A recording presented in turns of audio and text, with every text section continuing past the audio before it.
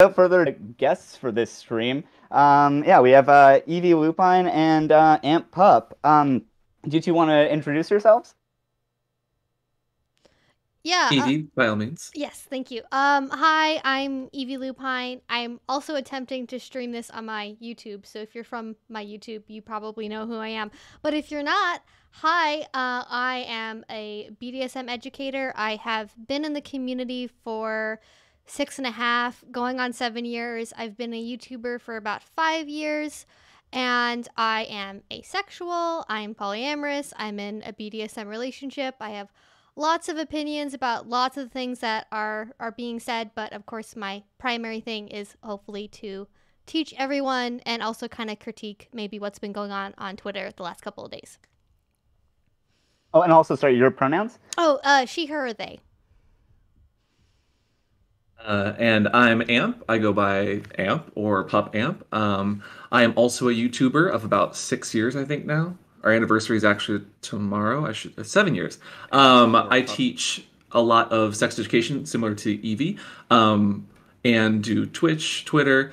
I kind of come from it as a 24/7 lifestyler. I have a partner who is my daddy. I am a, a pup and a sub in many ways, um, and a full-time content creator that likes to have discussions that are based on actual facts and um, you know listening and not not getting too heated. So I'm really looking forward to this discussion because uh, I've made lots of posts and whatnot on Twitter that has gotten a lot of hate and aggression and, and anger in my DMs and, and ats, and I don't. I, I'm I'm all here for opinions, but let's have a discussion. hmm hmm So thanks for having us here today. Awesome. Yeah. Um, yeah. So, uh, sorry, I've got. I, I, I- this is a. we we normally only have like one person on, so I've got a stuff's not formed exactly how I normally do it. Um, but yeah, no, I mean, I guess we can like maybe uh get into this a little bit. I um uh I'm not exactly sure how this all started. Uh, how like this like sort of controversy started. I it I it seems like this was a um um a tweet from um uh Shoe0nHead. Is that is that more or less how this all I kind of just woke mean- up and was like, "Oh, everything's on fire." so People have been talking about this in previous like years, right? Mhm. Like this isn't like a brand new like argument, but this particular one Yeah, I mean, from people I know in the kink community that have been around longer than I have, like they say this variation of this debate has happened for like 20 plus years. Like there has always been discourse about it. I think in recent times, I remember it being a thing on Tumblr. The last few years I remember it, it's been kink at Pride, but it's been does being a straight person that does kink allow you to go to Pride? That's been the discourse that I remember. It's never been think of the children flavor stuff until this year when we get this new variation on it, at least from what I remember from the last few years. True, right? Wasn't there like a whole thing? It was like LGBTQK or whatever, like add kink into the acronym or whatever. Mhm. Yeah, but uh, and similar to the the straight kinksters shouldn't be at Pride discussion. It's like, a you don't know someone's background and history. If they're bi, if they're pan, like those people are queer and they are a part of that community, even if they do seem straight presenting. And then at the same time, we have these fallacies of like think of the children, which are based in a lot of emotion and strawman arguments. Um, and it's only been since Twitter and other social medias have become more prevalent, popular, um, and gay people get more rights, and we start talking about these ethics more and more. That the discussion has really blown up in the last three, four years, po- probably or so online. The discussion's always been there, but it never started blowing up and, and trending, for instance, like it did this last week on this specific topic. Hmm, Yeah, and it's Right. I mean, Yeah, I, I would just want to emphasize, ahead. like, I, I think within the kink community, that's a problem we do have is like bi and pan erasure. Like, because we, in my community, we do have events for people that are bi and pan and gay and everything else. And if you go and people perceive you as being too straight, like, you can be ostracized even if you are actually bi and pan. And I think that does sometimes also translate into discourse like this as well. For sure. Um, I mean, like one thing that like I, I would really love to like uh, we were talking about this just before the stream started, but like um, I was talking to my roommate about this, uh, who's a trans woman, and she was telling me about how um, much of a connection that the uh, kink and the queer communities have, which I wasn't really aware of. Mm. And like, I I mean, uh, we, we've like talked about this, I guess, a little bit on uh, Twitter, Evie, but like just the way that like so many of the um, uh like uh people involved in like the like sort of like kink uh people like marching in pride or, or like Mhm. leather people like marching in pride have been instrumental in like fighting for uh queer liberation like uh gay rights and all these types of things and yeah i was just wondering if i could yeah if you two would want to talk about about that Mm-hmm. I think talking about the history and, and what Pride is, how it started, is kind of important to the conversation for sure. Um, if if you don't mind me just starting there with like the Stonewall please. riots Perfect. and Mm. the fact that Stonewall riots started because we were being sexually repressed, we were pretty much illegal, um, and we had to hide in bars and socialize in that regard. Uh, and so when enough was enough, the the trans women of color and the drag queens and the L, the G, the B, the T, the, everyone that was there in the bars started pushing back and fighting. And while nobody died there, there is such a long history of of this oppression that is put on and projected on our communities because we are just trying to exist and love who we want to love and you know have space to be ourselves. Now, where where we get a lot of that overlap is that like the work of liberation is and always has been no pride for some without all of us being liberated. And that's that's a very paraphrased marsha p. Johnson quote which again marsha p. Johnson and sylvia rivera are two trans women who are um, not the first ones that threw the brick but they are given credit by many people and that debate of who threw the first brick at stonewall is always one of those points that no one can agree on and that's fine the point being they were there and helped lead that fight and they were loud and they were proud regardless of being attacked verbally and, and sometimes physically. Um, that all being said, that overlap with the BDSM and kink community is because we share that same struggle. Both the LGBTQIA plus community and kinky folks have always been fighting for just having a space to exist, especially in recent years where censorship on sex especially has been so prevalent, has been so heavy, and has been using that same fear mongering rhetoric that we see for people that don't want gays to have rights or for just gays to exist and be at pride. hmm Can I uh, ask Amp? Um, I I uh, I heard uh, on on Twitter. I don't know if this is true, but from what I understand, like the uh, the leather daddies, I guess they're they're called, like uh, the part of the gay community that uh, back during like Stonewall time was like I guess wearing uh, leather. They were also involved at the Stonewall riots. Is that uh, the case? Yeah, leather has always been there since the beginning, and beyond just pictures that show people in parades back in the 70s and 80s, um, leather was always a part of our community, and especially biker clubs, biker gangs.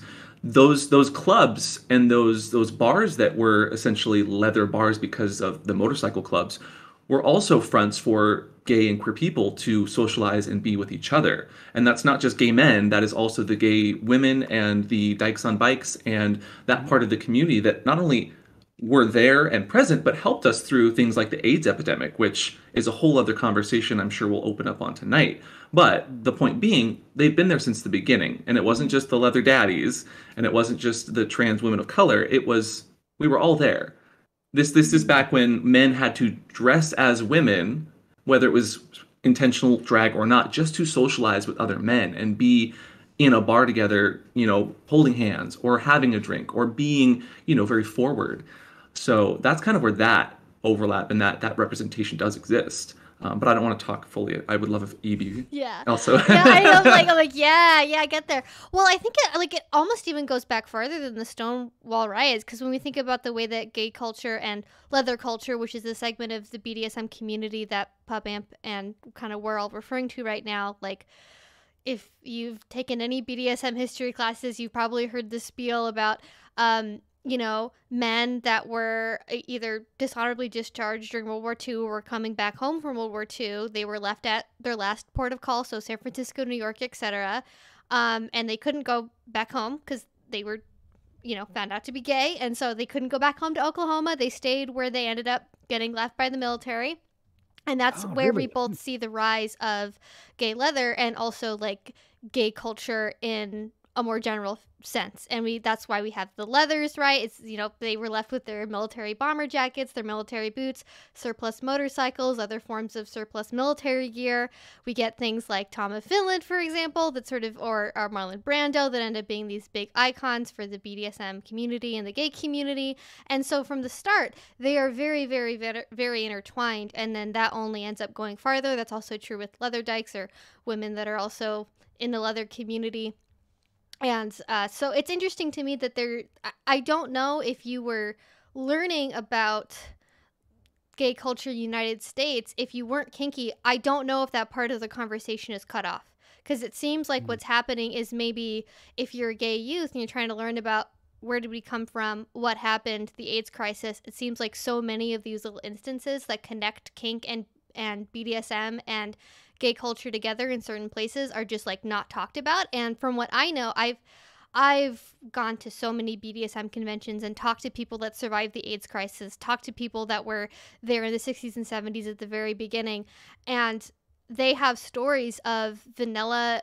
gay men and women literally cutting their photos out of events. Like they did not want to be associated with like the non vanilla gays because they were afraid Oh. if they see that our sexuality is this way, we will never be accepted. And so it's better to destroy the memory of these things than pretend like they actually exist and acknowledge them. And then Stonewall happened and we had the AIDS crisis and we saw how that actually ended up falling out. Interesting. So I guess like the the birth of like leather being like a because now everybody thinks leather's like the sexiest thing ever, but it started out as like not necessarily like a sexual thing, I guess, right? Is that uh, fair to say? In like the early Mm. days in San Francisco, um, I've also heard it was like a way for gay men to uh, sort of take back their masculinity and not be like a the stereotypical feminine uh, like gay man. Well, it's kind of what Evie touched on is like protocol in the kink community and the leather community came from people that were coming from the military and they were getting discharged. And so we got a lot of, uh, you know, sirs in their sir caps and like this this protocol of like sir and boy and and the way in which we teach each other. That was how we passed down knowledge is was through whether it was sexual or not these com- connections and these these camaraderie and these groups that were existing and, and sharing their experience together and I, I i would think that it's just a disservice to not not only not talk about it because we already don't do that and we already demonize anyone that tries to when you look at something like youtube where myself and evie have both done histories on things and i'm Mhm. sure he can attest to the fact that it gets restricted it gets blocked because it's gay history Mhm. and that's so frustrating Mhm. um, sorry, I just wanted to add that in there. Like that that's why it's Yeah. important to talk about this because if we don't stand up for it, then we, we do get that that the social media aspect of like the people that are heard the loudest are therefore right, which is not how logic goes. Right. Yeah. Um, I mean, I, I, I guess like um, one one thing I'd kind of like to I, I I was hoping to sort of go through a few of the like um worst takes without like n- naming too many names without when we don't have to but um Yeah. like you know we, we certainly can that's not off limits but like you know um just sort of going through some of the um uh like I think one of the one of the arguments that I I saw a lot of was just sort of the um um I guess like the optics angle, which Evie you sort of Mm. touched on, which um I, I I thought was like um yeah uh I mean you know you know not to don't want to like get out of lane too much like we we uh, James and I are both you know um cis het dudes but at the same time like um uh yeah like it, it- it seemed like there was this like very bad argument of like pride needs to be sanitized in order to be accepted and by like you know remove all of the um anything that could be considered deviant or scary or like I've seen a lot of people even saying like this is just playing into conservatives hands and like oh like like which I mean since when has trying to appease conservatives on anything worked Yeah. in any issue. Yeah, like conservatives aren't going to change their minds on like gay people just because stop being kinky. We're like, you know what? Yeah. Joe Now that Biden you is guys aren't a wearing. Yeah. It does not matter. Yeah. People don't care. Hmm. Now that you guys don't wear leather anymore, you're all right. That Full was right. the line that we drew. Yeah. I I think it, it goes back to how we how we define like the purpose of pride. And I I've seen from a couple of people where like after day 3 of discourse it kind of came out of like this is what I think pride is and I was like, "Oh, this is like where we're having the disconnect is some people think that pride like a, as a whole concept the primary focus should be a queer friendly block party primarily for children with rainbow flags and Right, other right. people Yeah. are using it more as a memory of the Stonewall riots. I still consider it to be a form of, uh, I don't know, political movement. Maybe not an active riot, but a form of. Uh, I'm my, my language is failing me. Some kind of basically way of saying like, "Fuck you, we're here, we're queer, we're going to be the way that the, that we are, whether or not you as a society say it's acceptable right now or not." And so it depends on kind of how you want pride to be, and I think on what your goals are, you're going to have a very different reaction to kink at pride and the optics of it. Because if your optics of it are, I want it to be a family friendly block party, seeing a person in leather that maybe looks kind of sexual to you that is going to be bad optics but if your if your purpose is coming from a totally different perspective then that's going to be a different question Agreed. to add to that, uh, it's sexual liberation. That is how Pride started. That is the point of Pride. That is that is the spirit of Pride. Is sexual liberation. The people that act like sex is not a part of Pride, um, I, I I would ask why, and I would ask them that history because sex was literally part of the first Pride flag. One of the colors in that flag represented sex. And while it was removed because of manufacturing reasons, it still is the original Pride flag. Um, and so to that, like all of these discussions or debates that, that I saw and have watched, the the the the starting point was always what is kink, and then the answer is always very misconstrued and or taken from a dictionary in such a way that you could you could argue that Merriam-Webster has the best definition, but also you're not taking context into consideration. Um, kink literally being defined as anything that's not vanilla, normal kind of sex would then entail that all of Pride is kinky. I'm not saying that, but I'm saying that based on a very, very, very, very literal definition, all of Pride is doing something that is not societally friendly or is normal or is straight on vanilla interactions. So you kind of have to have that nuance there of a definition in a dictionary doesn't also evolve with society. Hmm. We we have to uh, give space for gay icon Merriam-Webster and uh, his uh, opinions on the matter here. Yeah, so I got, I got a quick question in my chat that's sort of relevant to this point, so I'll speak to it really quickly. Uh, as far as the the pink, the sex part being in the original Rainbow Pride flag I was flag, wondering what color that was. um, somebody said, wouldn't that remove asexual people? I'm asexual. I would say that the Rainbow Pride flag is not like that was created before the concept of like asexuality as like a concrete thing existed. I'm not offended by pink being included in the Rainbow Pride flag because I, the way that I think about it is like zero is also a number. Not having sex, not experiencing sexual attraction is still a relationship to sex. So that's non-normative for people. Mhm. So I'm not I, I don't think there's any conflict with having pink in there, but of course different asexual people probably feel different ways about pink being present or not, but I think it's important to understand the intention of like why was that included in the original pride flag and like how does that relate to gay liberation and and sort of the the way that gay people or queer people see themselves. Agreed. totally. Um, and I just want to make it clear as well, like I'm demisexual, which is on the the asexual spectrum. I, I have sexual like pa- like energies towards people sometimes, but a lot of the time, if I'm going out in leather, I'm, I'm not having sex. I'm just wearing it to be myself and represent who I am as a gay, kinky, queer guy. hmm Absolutely. Um, yeah, awesome. Uh, I think this is like s- really important um, backstory. Uh, should we start diving into the the bad takes, Sam? looking at, looking, looking at some of Uh, I suppose. Yeah, I think if we could start with a take that's like defining what kink is on behalf of kinky people, I think that's like the one other solid thing I would want to make sure to have clear up front for either current or Oh, future yeah. viewers. Because I think a solid 70% of this discourse is based on people talking past each other and assuming what kink means. And if Okay, we could do Yeah. that, that would answer a lot of questions. I mean, um, I, I can start walking back. oh, well, Sam, has I think you're, been, you're cutting um, out there. Oh, am I? Are, are we? Are we Yeah, I okay? think you're, I think you you're back. yeah. we're, we're I think you're good. back. We're good. I'm monitoring on like three Okay, different things right um, now. We're good. my, um, yeah, my mic is uh not good uh all the time. Uh, turns blue snowballs don't don't don't get the cheapest um uh mic ever, and then use it from when you start your YouTube to present day. It's bad. um. Anyway, yeah. Um.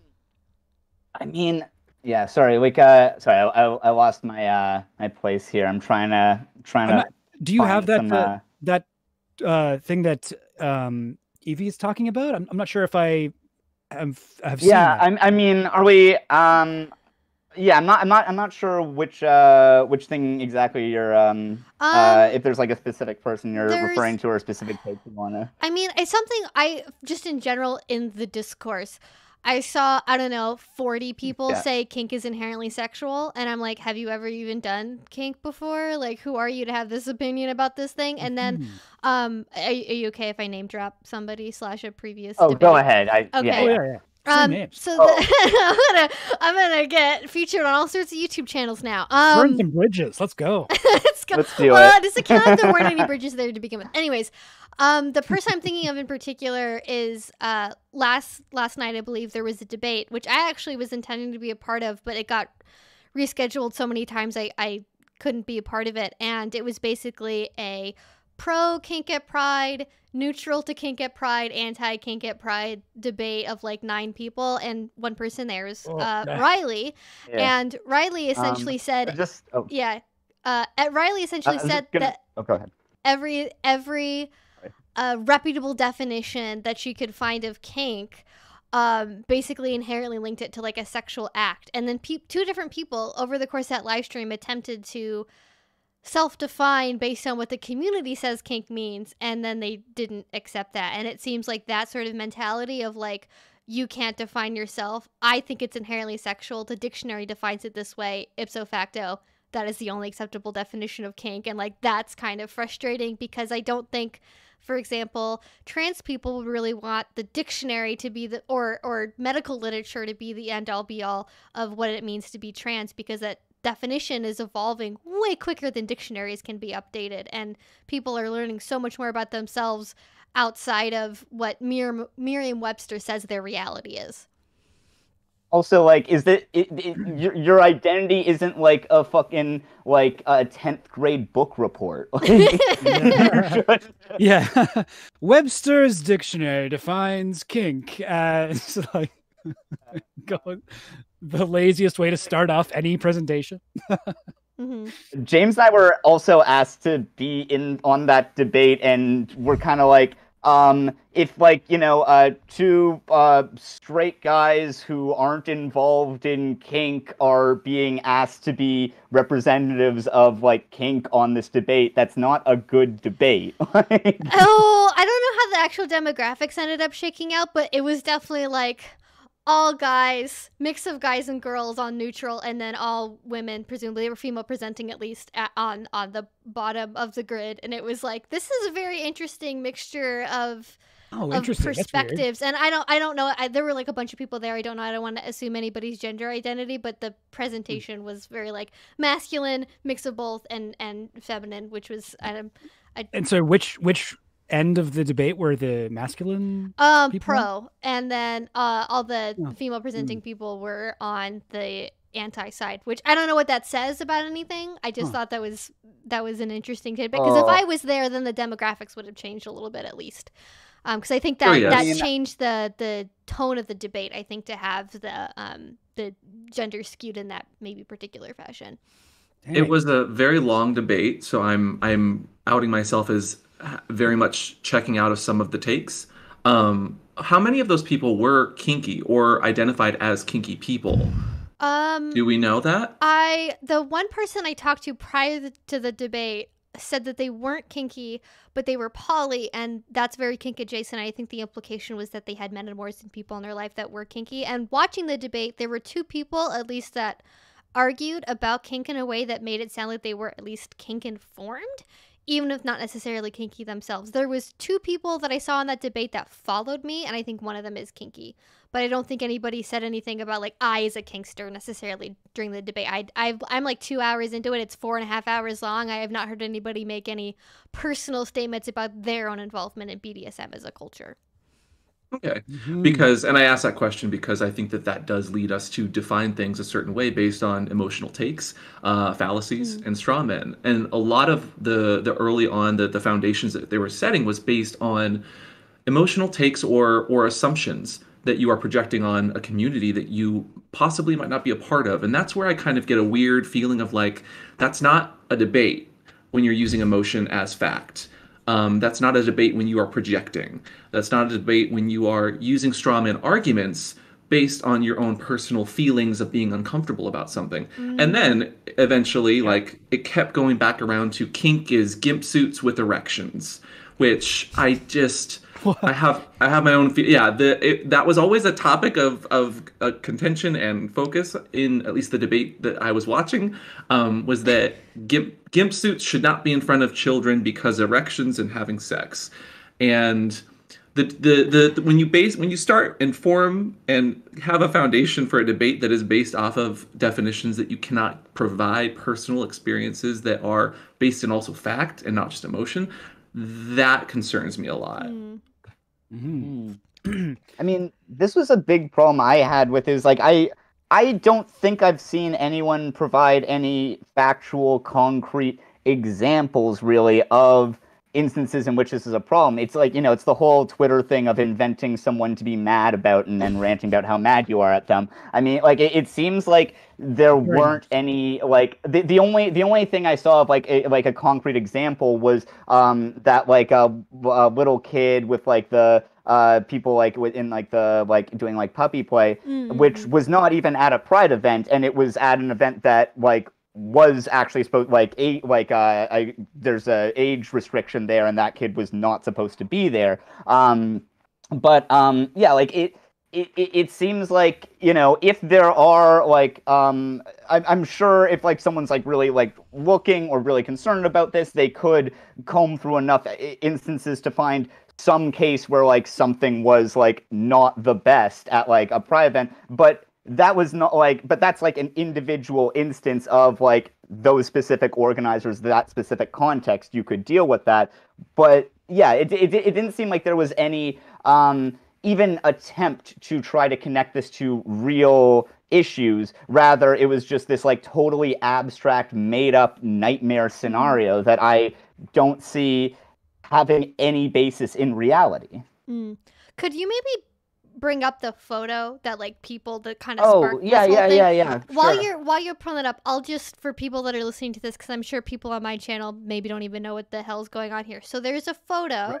that involves i think three uh amab puppy players interacting with a girl um there has been a lot of contention about where this came from. Some people are saying it's from Montreal Pride 2019. Other people are saying that it's from Folsom. Now, I've been to Folsom a bunch. If when the picture gets pulled up, I this will make more sense, but it is Folsom is like a block party. It's not a it's not a parade. You don't typically have people, at least not all of it's a parade. And it's it, it would be unusual to have a bunch of people waiting in a line somewhere for like as though something's about to go by. So based on the background of the photo and that many just plainclothes people hanging out in the background with flags, it's probably not from Folsom. I know there was a lot of concern about this particular photo being like a psyop from 4chan. This thing, there's this thing called oh yeah, I heard that um, yeah. from from this Operation Pridefall, which is 4chan essentially or, or someplace like that, trying to uh, basically get normies normies riled up about the deviancy of the homosexuals and like using this as an example. I don't think that photo was originally from there. I think they found it on Google search and was like, make this thing go viral. Um, but uh, they That didn't have the didn't bother me outrage response. Yeah. No. So yeah, it doesn't really. I mean, I don't know. Like, I don't know if that if that was at Pride or anything, but like, I feel like there's a very reactionary impulse that a lot of people had when they saw that photo with things that they have in their head about kink and leather and you know puppy play that uh they assume that like i mean i don't want to you know strawman any, anybody here but like there isn't like a little girl seeing uh, a adult man in a leather dog suit in my opinion it's not going to like you know traumatize this girl this is not like No. child abuse i i wouldn't say Mm, the uh, go ahead.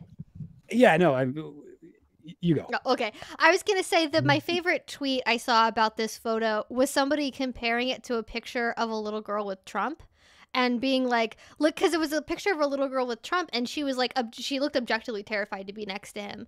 And meanwhile, this picture, mm. that this girl looks happy, like she doesn't look like she's trying to cringe away or that she's being forced to pose by her parents.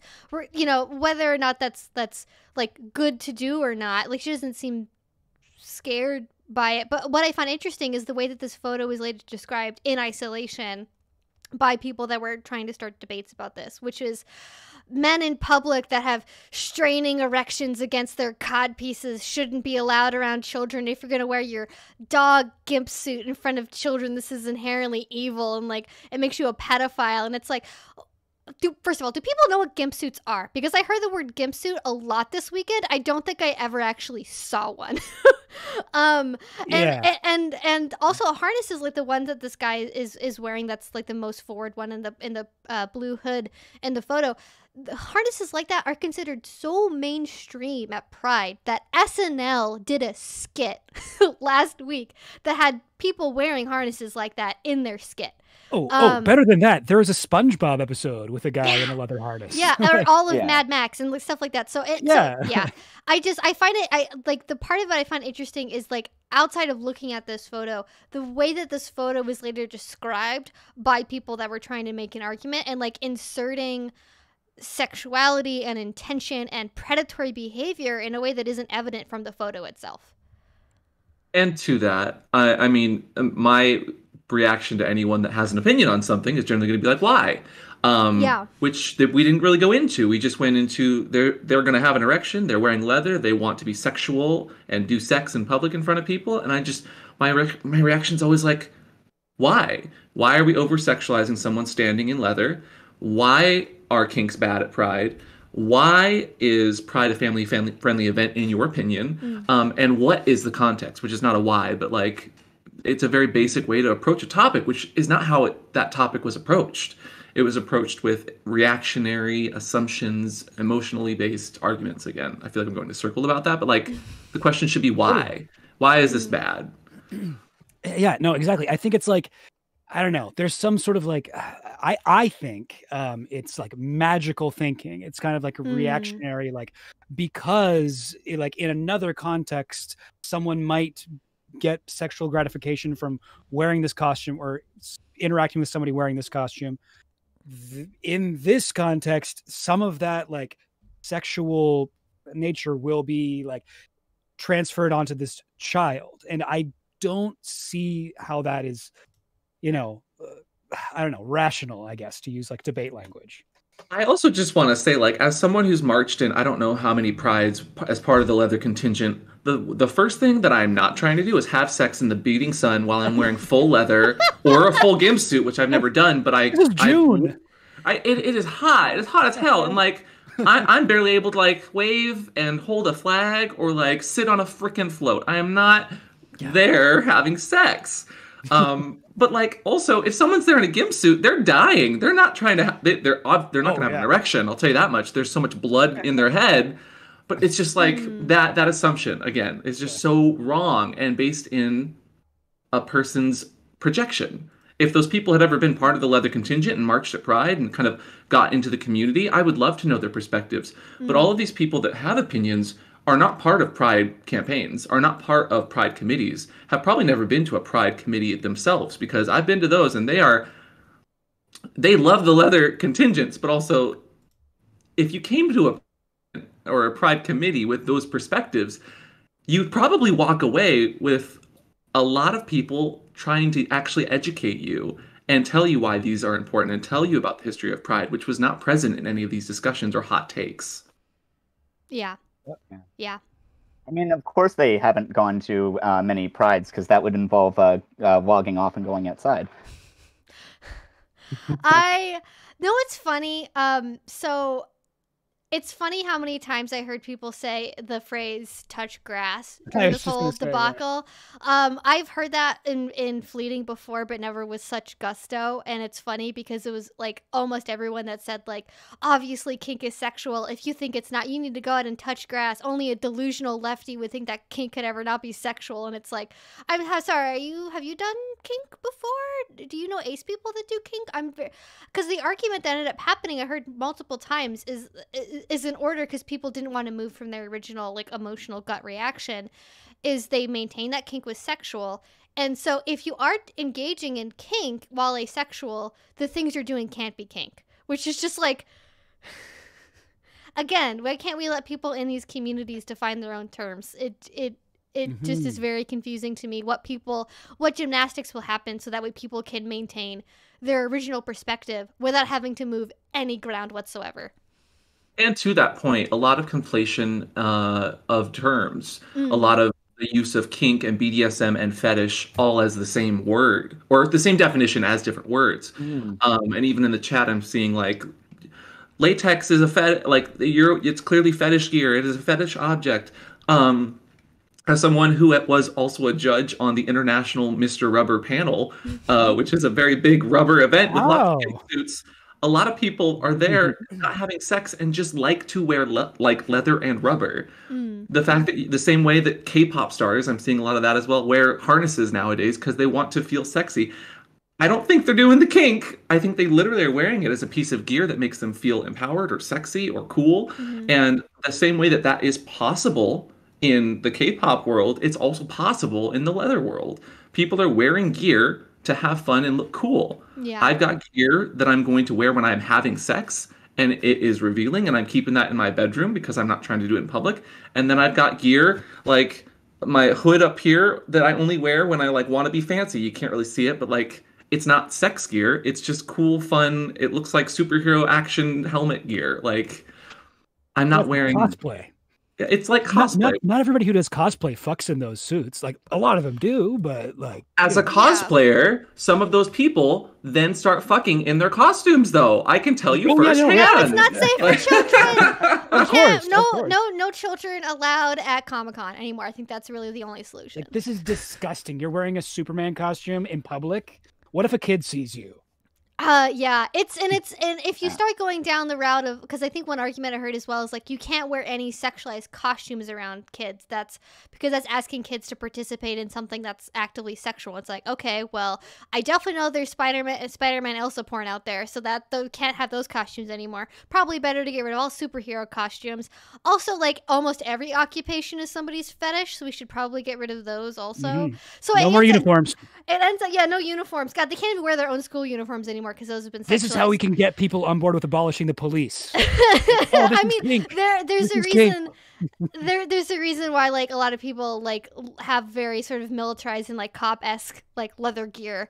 Uh, there's a reason why that fetish exists in the community. But um, I think going more back to um the point of like leather and latex and wearing something because it makes you feel um you know empowered and makes you feel more like yourself. I totally have that. Like I have I have a closet of like a bunch of latex and and PVC and stuff, and I wear that because I feel good when I'm wearing it. I'm not wearing it because I'm like soliciting people to have sex with me. I'm wearing it because it feels good. And latex is expensive. Okay, it's expensive, and I am not necessarily going to sully that um, with lots of friction and having to keep it constantly uh, maintained all the time with like lots of of big activity. And also, it's interesting because people mentioned K-pop stars, but also um, latex fashion is very avant-garde. Like there's so there's so much. If you go to like high-end runway shows, if you follow a lot of big designers, there are high-end latex designers. There's um, William Wilde, Atsuko Kudo, that literally design latex for, uh, you know, presumably vanilla, maybe with the exception of Rihanna. Uh, like mainstream pop stars that like wear latex uh, to music videos and to performances and stuff. So even like latex and leather, like those things, I think are, are even in not every case coded for kink, but are coded for luxury because they're typically handmade custom pieces that are very, very labor intensive and that you have to basically invest enough money in to be able to afford. Um, so if anything, there's a little bit of a class element to like certain like uh to to kink gear expectations, which is like a whole other conversation. Um, but it's to say that like this kind of thing is always sexual, I think is ignorant of the way that this material is used in so many other contexts. And to that, um, feeling sexy or wearing something that makes you feel nice and good is not having sex. Mm. I'm seeing people say that be you can't say that it's not sexual yeah. if you want to feel sexy but then you kind of get into that argument which was somewhat touched on some of these debates is like what about wearing a bikini to the beach if you feel sexy in a bikini or a speedo does that mean that you are showing sexual energy does that mean you're trying to have sex at the beach no but you can feel like you are attractive and handsome or sexy or whatever terms you want to use for yourself while wearing different kinds of clothing. Um, and to that point, you're going to be say- seeing, as someone who's also marched in a pride parade, behind us we have women with their their boobs out and they're being empowered and they've got you know their nipples covered but they have a lot of nudity and in front of us is a, a, a float with go-go boys on stripper poles and thongs but for whatever reason the leather contingent is getting that flack of being mm. too sexual when we're we're marching in a parade, whether in a hood or in leather gear or with a flag. We're not trying to have sex at that parade. There are rules and guidelines that every float has to follow, and the women behind us are following it. The, the guys on the stripper poles in front of us are following it, and also we are too. If there was anything being done that was against the rules, then you would see that with the leather contingent being pulled but we're very, very, very conscious of what we're wearing because we don't want to be seen as inappropriate in that way. Mm-hmm. Right. I mean, like this is like one of the things that um, you know, I I got really upset. But it was just, I mean, this is like the the idea that pride is like a, an excuse for like creeps to like have sex in front of kids or you know like whatever has been the, is the oldest conservative lie in the book. I remember hearing that when I was like 12 years old or whatever. Like and um I mean yeah no I, I you know to, like you were saying uh amp like it's not in any way uh I don't think anyone who's like marching in the parade or on a float is trying to have sex at that time you know like it's not uh yeah it's not a sexual act it's a yeah it, it, it, it's so much more than that and it's i you know i think i think it's um uh not just like weaponizing it as a way to remove uh like to you know sort of um remove kink from pride and um uh you know as a sort of form of like homophobia but it's also like it, it's reducing that advocacy and that like yeah, I don't, I don't know exactly what we would call it, but that like action to just these, this is guys trying to like get off, you know, instead of this is people celebrating who they are and fighting for their rights for equality and fighting for their rights to exist as they are, you know. Yeah. Especially in this climate, that seems more appropriate than ever when we see multiple legislations that are literally fighting sex in the name of sex trafficking and keeping keeping the kids safe. You know, think of the children. I think children should be safe. I think we should protect children. Obviously, I am not arguing that we should not do that. I need to make that very clear because the second I start talking about this, someone will be like, "Oh, well, he just he doesn't like kids," and not the case. Um, I'm I'm saying that in this environment where we have so many politicians and religious groups putting things together like Sesta Fosta, which are stop online sex trafficking acts that have been put into motion and have actually passed in politics. These laws actually lead to more censorship that makes stopping sex trafficking harder. And there are actual studies, psychological studies, of how think of the children leads to more censorship that attacks marginalized communities because generally it is done as a, a scare or fear mongering facet or aspect of whatever movement's happening, which leads to even more dangerous instances, scenarios, environments and there's actual facts for that. There, there are psychologists that go on the record and talk about it. In fact, let me pull up the book that I'm, I'm trying to think of right now in my head, which I can't. Um, but there is actual facts to back that up. It's not just scapegoating. It's not straw manning. And, and why we're not using these arguments with actual evidence behind them is what really makes me upset. Yeah, I, I think that makes me upset because I, um, as far as I can tell, we kind of we talked at the beginning of like why is this discourse happening, and there is definitely every year it happens a little bit earlier every year. Somebody gets upset with some kind of take about pride, and this whole thing happens again. And I think this year it happened because there was somebody that was 16 like said that they were like too innocent to see something like this at pride. And like that's where this started. That's why Shoe made the take that Shoe made and how Vaush chimed in mm. and all, the whole thing ended up ended up snowballing the way that it did. And why the focus has been on kind of that protect the children argument in a way that i don't think it necessarily has been in years past. Mm-hmm. And what I find frustrating is the fact, like I, I think you mentioned this as well earlier, is um, I, I don't know of any specific instances that are being cited about um, this is the way a child was hurt at Pride, or this is a this is how Pride is being used as a, grooming cult for children. Uh, I, I and if there is that harm happening, I obviously want to see it reduced. I never want any children to be hurt. But again, it goes back to sort of this vacant outrage uh, outrage at something that's going on but nobody seems to be able to specify any real harm being done outside of i think adults online fearing that harm is happening without evidence being present. Yeah. And and every instance that has been like well this person was doing sex at pride has been i saw this thing at this part and whenever I ask, like, was that part of the the leather people in a contingent, or was it a booth? And like, well, was someone leading someone else around on a leash. And I'm just like, okay, we can we can use these these straw men um, and make arguments based on your opinion or what you say you saw, but at the same time, those people are not part of the the leather contingent. They're not part of the parade if they're just standing around. And also, um, how do you know that they're kinksters and how do you know that they're part of this community? The number of times that I have worked at actual kink conventions, which are absolutely age gated, you have to have an ID to get into it. Mm-hmm. And there are a lot of vanilla, what I would call vanilla normies, just kind of there seeing what's going on. They buy gear, they put it on themselves, and they don't know what they're doing. I have been tased by someone who bought a taser because they thought it was cool. And then oh, they no. wanted to just try it on people at the event. Like, what? Okay, that's just not kink ignorance. That's just general. That's assault. But... yeah, it's just assault. Well, that's. I mean, I think that speaks to the problem is that like the th- things that are crimes that people are worried about are already crimes. Like people mm. masturbating in front of children is already a crime. If these things happen, yeah. they are already crimes. Banning kink, if somebody is doing it, if if people are Trojan horsening into pride events to hurt children using kink as an out, like if they're doing something wrong that's either against the codes of conduct or is a crime more generally in the area where they live that's I, I don't know what else you want to do to that besides constantly calling cops in on people at pride and i hope as a queer community we can understand why maybe that might be a little bit problematic to do at a pride event that's typically commemorating stonewall. Yeah. Yeah. Great point yeah. Yeah.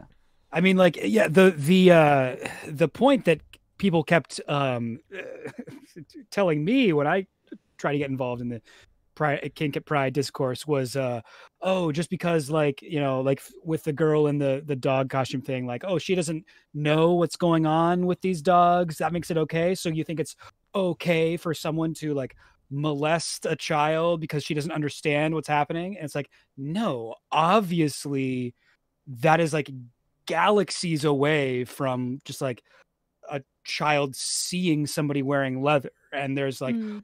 we do we are going to draw a line before it gets to like involving a child in a sexual you know act.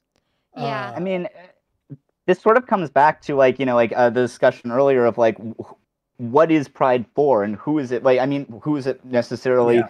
it, it, about? I mean like it's I, for children, I, right Pride's for kids. Well, yeah, like like I go to like uh, I'll go to like you know like like Pride when it's happening in Toronto, and it's like um I I always feel like you know I'm uh, you know a guest there, not like it's for me, and it's like obviously, and like you know there there are so many you know large like street festivals or events, sporting events where it would not be a safe place for an unattended child. That we don't get upset about those, and yeah, like like uh, the idea that like it's um, it, it's it's their it's their uh, uh, the most important thing is for it to be child friendly Mm. is wild. I mean, this is this is some like you know um uh when, when I was like posting about this on Twitter to like promote the stream, it was mostly a joke, but also like I posted the like Raytheon Pride quote. Like this is that shit, you know? Like this is um uh. Like, like, what yeah what do you think pride is supposed to be? If not if, if it's just supposed to be like kid friendly corporate friendly or is it supposed to mean something more than that? Yeah, and I I think um so there's a couple of things I I'm kind of trying to watch all the different chats going on. We got one question from a person that I think was probably directed towards um Amp and I that was what do you do if your kid or young child works on any doing BDSM, which I think is is maybe that's a quick answer for me, so I'm happy to talk about that. And then I think people are asking for a specificity on what kink and pride means, which I think is important to get to. Uh, Mhm. because I feel like that's the crux of so much of this conversation is what does kink at pride mean and what people are even really mad at. Yeah. Uh, also, just want to say sorry. We, this is a much bigger stream, much bigger audience than we normally get, and also we don't normally do like full like sort of panel interviews. So I'm trying. I'm trying to keep an eye on the chat and going to try Yeah. and address stuff after like later on. But um, yeah. Sorry Yeah, about that. We're, and we're if- normally a bit more responsive. And if maybe it's easier, I don't know how you set up your live streams normally. Um, we could always just like make time at the end for like a Q and A Mhm. if people want that. If we feel like we want to keep going, uh, maybe that's more manageable. Sure, I have yeah, I have dual great. monitors, so like I can kind of like lizard eye around Mhm. at like all these all these things going on. Um, but the the to the person asking like, what do you do if like a child walks in on you doing BDSM? Ideally, you create a scenario where a child can't walk in on you doing BDSM. That's why we have things like public dungeons. You get a sitter. You you go to a BDSM dungeon. You you do kink with your partner. You go home. The sitter is like, hope you had a nice night, and then you you just have a normal family time. But I mean, there's like there's the conversation gets very complicated because there's so many different ways of engaging in BDSM that uh, walking in on isn't even necessarily the question because there are people that have like 24/7 BDSM relationships um and I've taken many classes on like how to you know successfully separate kids from from seeing things that they aren't necessarily like emotionally or mentally like equipped to know how to process at a young age um but there there are lots of things you can do to prevent that from happening if you don't specifically want your child to see you doing BDSM because I think there is a difference between like your child witnessing you do something versus like vague exposure to sexuality in general um, that maybe would affect the child psychologically in a different capacity. But I'm not a psychologist, so I don't know what that would be.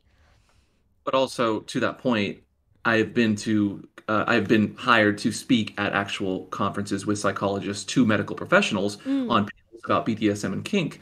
And in these panels, we talk about what psychologists and therapists actually answer as far as questions. Kids of all ages are already asking questions about sexuality and what gay men are doing if they're kissing, or teens are asking what CBT is. The kids have the internet. And so if the kids are finding this stuff, True. and they're going to find it because there are studies that show that kids are finding porn even if we try to stop them, which again, I'm saying we should protect children from things that are not, you know, not for them. Mhm. But but people marching in a leather contingent at Pride is not the most abusive or aggressive or sexual thing you're going to see at Pride.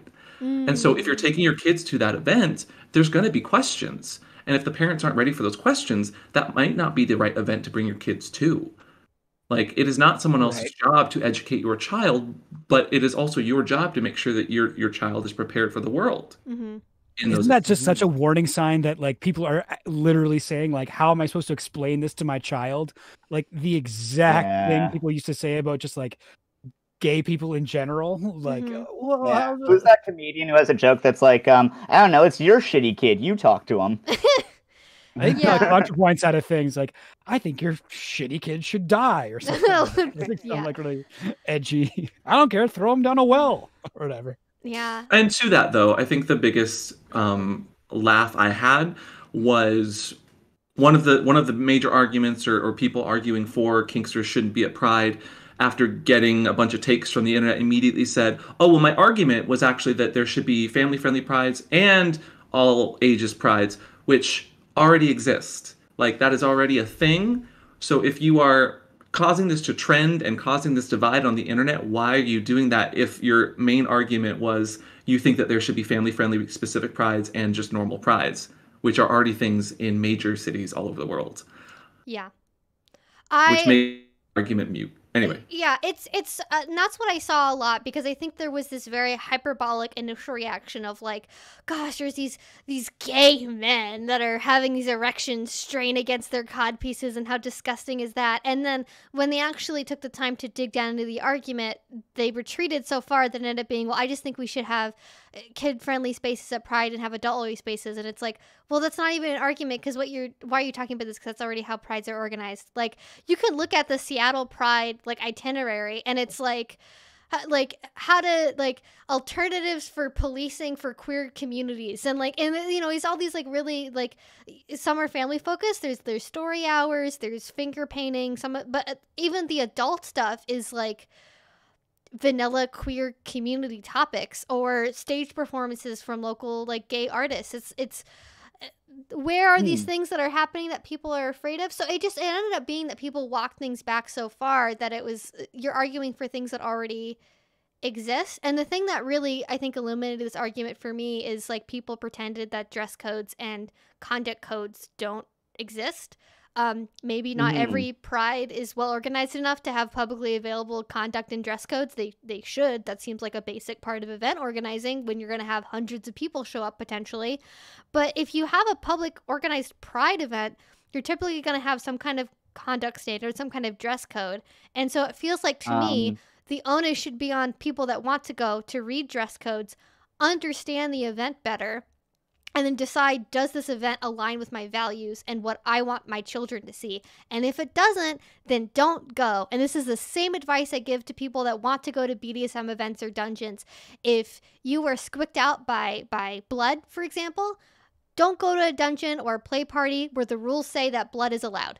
If you don't want to see people in if you don't want to see the local leather contingent, don't go to the event where they're going to be or how about you join the organizing committee where you live and then say, hey, I want to have this kind of event instead, and then make that happen instead of complaining about things uh, and saying, impl- like, for me, it's the implication that everything is kinky and we need to make a small safe space for children because it's like it's the, yeah. the, opposite is true like if you're kinky you get like half of a block after 6 p.m and like everything else is is more catered towards like either young people or queer families and like that if that's how it is, mm-hmm. that's fine but i think it's again it, it goes back to is is it an actual problem that exists or are you just making something up to be mad at because you had an emotional reaction to something that you saw and I would love to add, just because there's a bunch of questions revolving around this part of the mm. discussion and, and clarification, um, the history that we kind of touched on earlier, as far as leather and how it incorporates into the LGBTQIA plus community and pride. Um, we we growing. Mm, let me let me make sure I'm I'm going to say this properly. Leather was a part of many people's identities. Leather mm. was a part of the community back during the AIDS epidemic. Here in San Francisco, uh, Alan Selby, the owner of a store called Mr. S Leather, a very major retailer of kink and whatnot, helped to fund a bunch of AIDS related foundations that not only fundraised a whole hell of a lot, but made sure that we were using everyone in our communities our dykes on bikes, our butch leather women, our gays, our, our trans brothers and sisters were a part of making sure that when people got sick, they had someone there to help them. They had a backup plan when their family dropped them at the blink of an eye. And when they did die, there was a process in which their goods, their gear, their loved things, and their possessions that needed to be passed on because there is historical value exactly a part of and present in and prevalent to the community here that is LGBTQIA plus there were people in place because the leather community helped to enact and put that together. You can't erase that history. And so the people in Pride, the people that are marching in their leathers, some of them wearing leather that was passed down upon down upon down to people from back then in our history, that is a huge disrespect to tell them that they cannot march in that parade where they are being appropriate and they are being in line with all the guidelines and they are just trying to show their pride and respect their history. Yeah. That is where that connection exists. And to say that the leather has nothing to do with that is ignorant and doesn't actually be, it's not based in fact. It's not based in history. We have archives. We have the leather archives that show how all of this is connected. Mm-hmm. And I, I welcome questions, but like you can't you can't come in here and say that there's no connection there Mm-hmm. when we have documentation of all of that. Yeah. Of course, yeah. And the reason why we have to have the leather archives in the first place is, like I mentioned earlier, like there were certain segments of the gay community that thought, in order to be accepted in mainstream society, that they literally had to cut out photos and like destroy evidence of their like kinky brothers and sisters existing at all and being present at the same events. Um, so we have, and there's actually, I, I would love to see if I can find it again, but actually on my Patreon, I think last year around this time, um, I found a really, really good series of videos on YouTube that are interviews of of queer men and women that survived the AIDS epidemic that were leather, that were part of the BDSM community, and like how those two things intersected. As it turns out, uh, leather dykes, so queer women that that do BDSM in the leather community, they were some of the first like people that reached out to gay men that they knew to help them because everyone was so terrified of this disease that they didn't even want to be in the same room as them. And I think um, because so many of our elders from that part of history passed away, I think um, certain segments of millennial and like Zoomer queer people, like it's it's hard to imagine how devastating that was. Like this the sheer destruction that that did for our history and our understanding of like our self concept of what it means to be in this community. Um, and and I think that is very illuminating because people are, are, don't understand that connection and how strong it is. And it's not even just with the AIDS epidemic. Like, who do you think it was that was beating off the police at riots? it was it was the it was the kinky leather bears on motorcycles. Okay, it was leather dykes on motorcycles that were doing it. Um, and and to have that be ignored and you know essentially uh, vanilla washed. And a quick clarification for people that are listening: when Pup Amp and I say vanilla, we do not mean that in a derogatory way. We mean that in the sense of describing something as not being kinky. Um, it's never intended in a derogatory fashion unless you're like a 15 year old Zoomer that uses anything as an insult on TikTok. Um, it, it, it's it's just a descriptive term. We're not trying to talk down to anybody. It's just our word for people that aren't kinky. True. Yeah, th- th- there is no hate here in any of these these discussions. Even if you don't understand the topic or you come in here with a question that you might think is is disrespectful, I'm not taking it that way, but I am going to respond using fact and not emotion here. I'm going to get emotional maybe because it's a very emotional topic talking about AIDS and the people we've lost, but that's not because I'm getting mad at you. That's because I'm very passionate about this and I'm I'm very tired of people telling me that Kinksters are trying to have sex in front of kids at Pride. That's not what we're there to do. Again, we are trying to pay homage to our history and be prideful. Mhm. Totally. Honestly, you spend so much money on your like kink gear or whatever. Like, it's nice to have a thing you can actually show it off. You know, Mhm. Let people know. Yeah, like Yeah. I, I, don't know, I don't know uh, about AMP. I haven't been to a BDSM event in like two years at this point, almost, because I, w- I was on Mm. vacation. I was in Europe immediately before the pandemic started, and so I think my last event that I went to was like December 2019. So, uh, you know, my my nice stuff, my nice stuff has not seen the light of day in quite a long time. Oddly enough, my last event was literally right before everything locked down, and it was Mhm. Australia Mardi Gras. Um, and if you want to talk about sexual stuff there, and lots of Oh, people yeah. that were underage, I was wearing shorts that were nicely fitted, but not Mhm. nude, and uh, like a harness and a, a, a kind of hood that like sat on top of my head, like Mm. surrounded by drag queens, people with their you know boobs out, paint over that, but like that's if I'm the most aggressive thing there, like yeah, right. Yeah, at Mardi Gras. Yeah. No, that's actually so Weird, I funny. didn't Like, see any of these same people um, upset about uh, Australian Mar- Mardi Gras. yeah, or like any Mardi Gras. Like that is a uh, yeah. that is a really good point. That is. I mean, I, I like. It's also like I've seen a lot of people like you know like respond by like you know showing how like oh like you know um um uh as uh as as you were saying like how um uh, you know uh there is so much like sex and you know sexism in like so much media and Mhm. people have sort of responded well we think that's bad too which Sure, but I mean, like, I think that there's, you know, plenty of stuff that, like, you know, I, I definitely didn't see, um, uh, you know, the people who are currently upset about, like, um, you know, think of the children around, um, uh, Kink at Pride, um, upset about, like, Lil Nas X's, like, latest video, who has a very young audience, where, you know, it, like, it, it is, it is so, um, uh, selectively applied. This, like, um, this concern that they um that they're supposedly Yeah. motivated by. And Yeah, I and you can draw those same parallels for something like WAP or a Miley Cyrus video Yeah, that sure. features latex the entire time, um, not being age restricted, not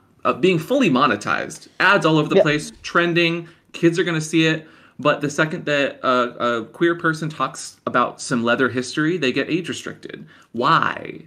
Like that is that is so inherent to this discussion because it is this capitalistic what is appropriate and needs to be rated G unless of course it's a famous person or someone that has a lot of money and wants to put it into the platform then it's okay.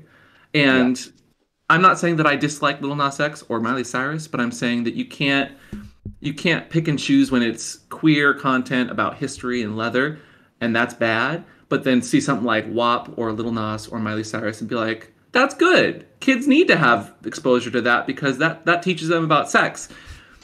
It, uh, well, well, I would almost even say that the the thing that I go to not is not even Mardi Gras. I don't know uh, how common this is elsewhere, uh, but naked bike rides in the college town that I Yes. that I that I went to. Um, we had we had Pride, and I. Um, the it turns out uh the the BDSM dungeon I, I went to there we had a booth at Pride and like it was a little like sex positivity information center to like get people to come out to the dungeon if that aligned with their interests. It was a college town, but like professors have kids. There are definitely younger people that live in the area. I mean, there was an elementary school like in the town. Like it was it wasn't just like only college students that went to Pride.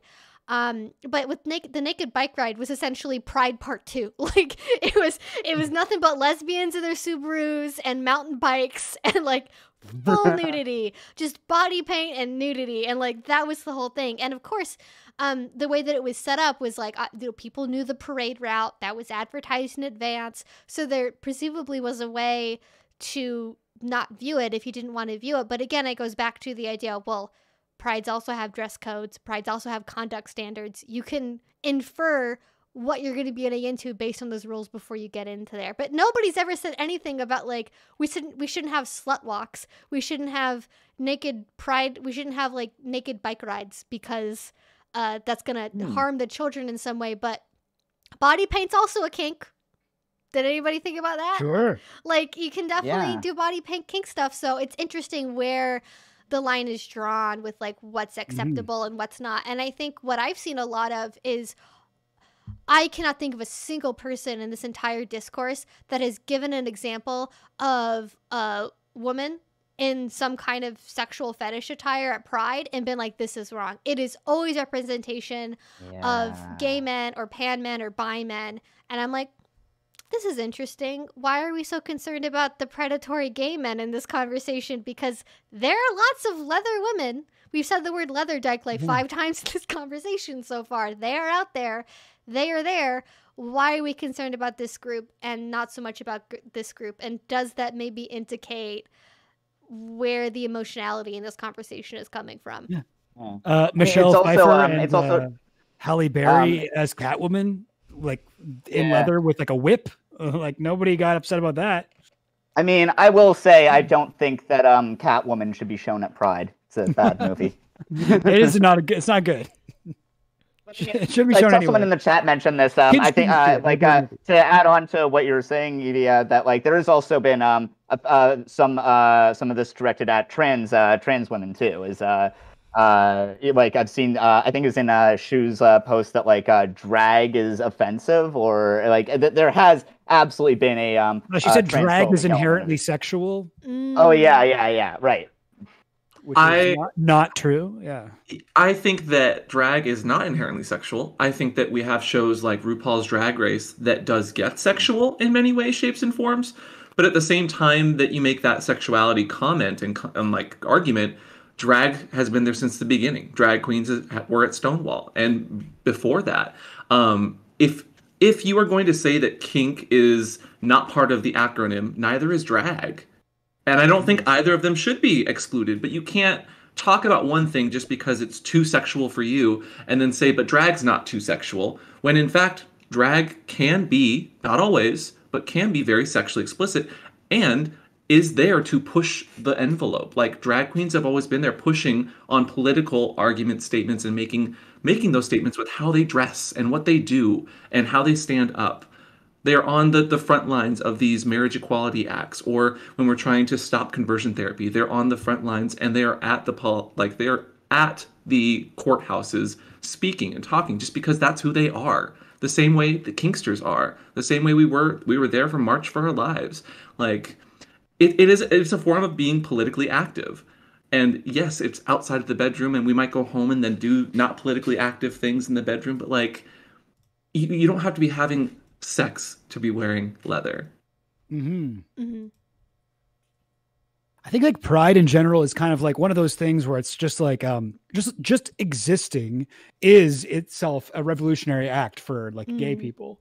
And if you're like you know uh, kinky if you're part of the leather contingent or you know a drag queen or or, or whatever like it, pride is a place for you to like express that part of yourself. And pride isn't meant to be a place for everyone to like get used to gay people and like for kids to go and be like oh this is okay or, or whatever. It's meant for like a historically oppressed uh group of people to you know have a place to be themselves. And i i don't see why i don't know the whole optics argument i guess is just like it assumes that the the purpose is not it, it's not for the uh, you know people of the queer community. It's to convince everyone else that this is something that should be allowed when you know that's not really the the point as far as i And- can tell No, you're you're correct. And on that, emotional reasoning, which is a form of assumption, which is a fallacy, is trying to rely on mind reading and your own prejudices. If you are trying to mind read, you're going to always go to a, a bad place because you have a preconceived idea that kink is already bad. The same way that you you might think drag is always sexual just because you've only seen RuPaul's Drag Race and you're not seeing the drag races or the drag queens that are Mhm. in front of politicians. Drag is not inherently sexual. Kink is not inherently sexual. Neither are part of the LGBTQIA acronym, but they're also not explicitly just like if you want to make that argument that kinksters are not all queer, drag queens are not all queer. There are straight drag Mhm. queens, but we still allow them to be in our parades because they're marching either as one of us or with us as an ally. Mm-hmm. So like we can't uh, keep we can't keep assuming like that that's not Yeah. conductive to a dis- a discussion or a debate. And that that mind reading prej- like not prejudice that is a form of fall- like fallacious thinking.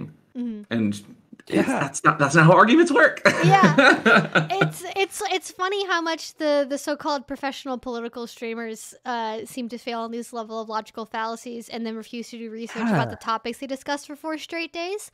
Uh, which is a little bit frustrating because it seems like they don't believe they need to do any level of research before having an opinion on these things because their gut reaction is apparently informed enough to have a complete opinion about a community they're not a part of.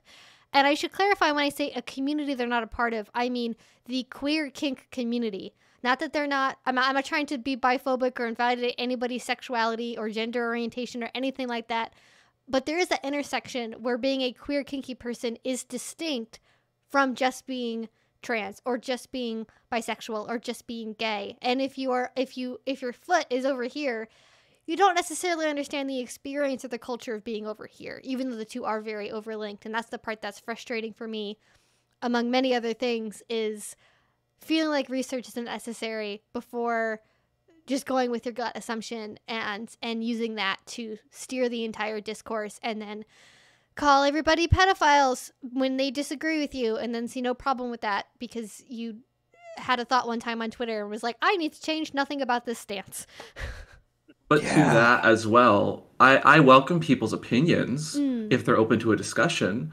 But the, the people that we see in these in some of these discussions weren't having a conversation. They were yelling at their chat, they were banning people that disagreed, and they were not allowing for a discussion to be had. Yeah. And they were using that emotional reasoning, that distorted thinking, as fact, which is not how a debate or conversation should go on a topic like this. hmm Yeah, For real. I mean, I think that this can, that can be a big problem with like um, debate uh, content in general. Is that I mean, you know, I I, uh, I I you know I think I think it's great to have like these like this is why like we really didn't want this to be like a debate. Is like you know I think it's very good to have like types of conversations and have these types of like good faith uh, discussions. But I don't think that very often. Um, debates are about like or I would say almost never about like learning from the opposite side and developing your point of view so much as it's at least you know in the public spectacle area of debate then yeah Mm. I think I think it can be It's about convincing an audience and not convincing the other person you're talking with, or even like learning from the other person, which I think is is frustrating because I've definitely had individual people that have talked to me that have said, uh, you know, either myself or Amp or somebody has sort of changed their opinion in a positive way about this.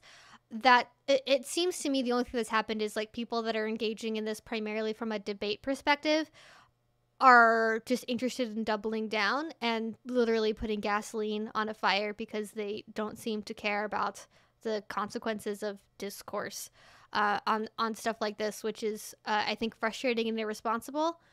But uh, I I so I I think there's just like there's so much that we could talk about. I don't know if there's like specific things that we haven't talked about Um, yet that you wanted to make sure to get one- into in one terms thing I would- reactions. Yeah.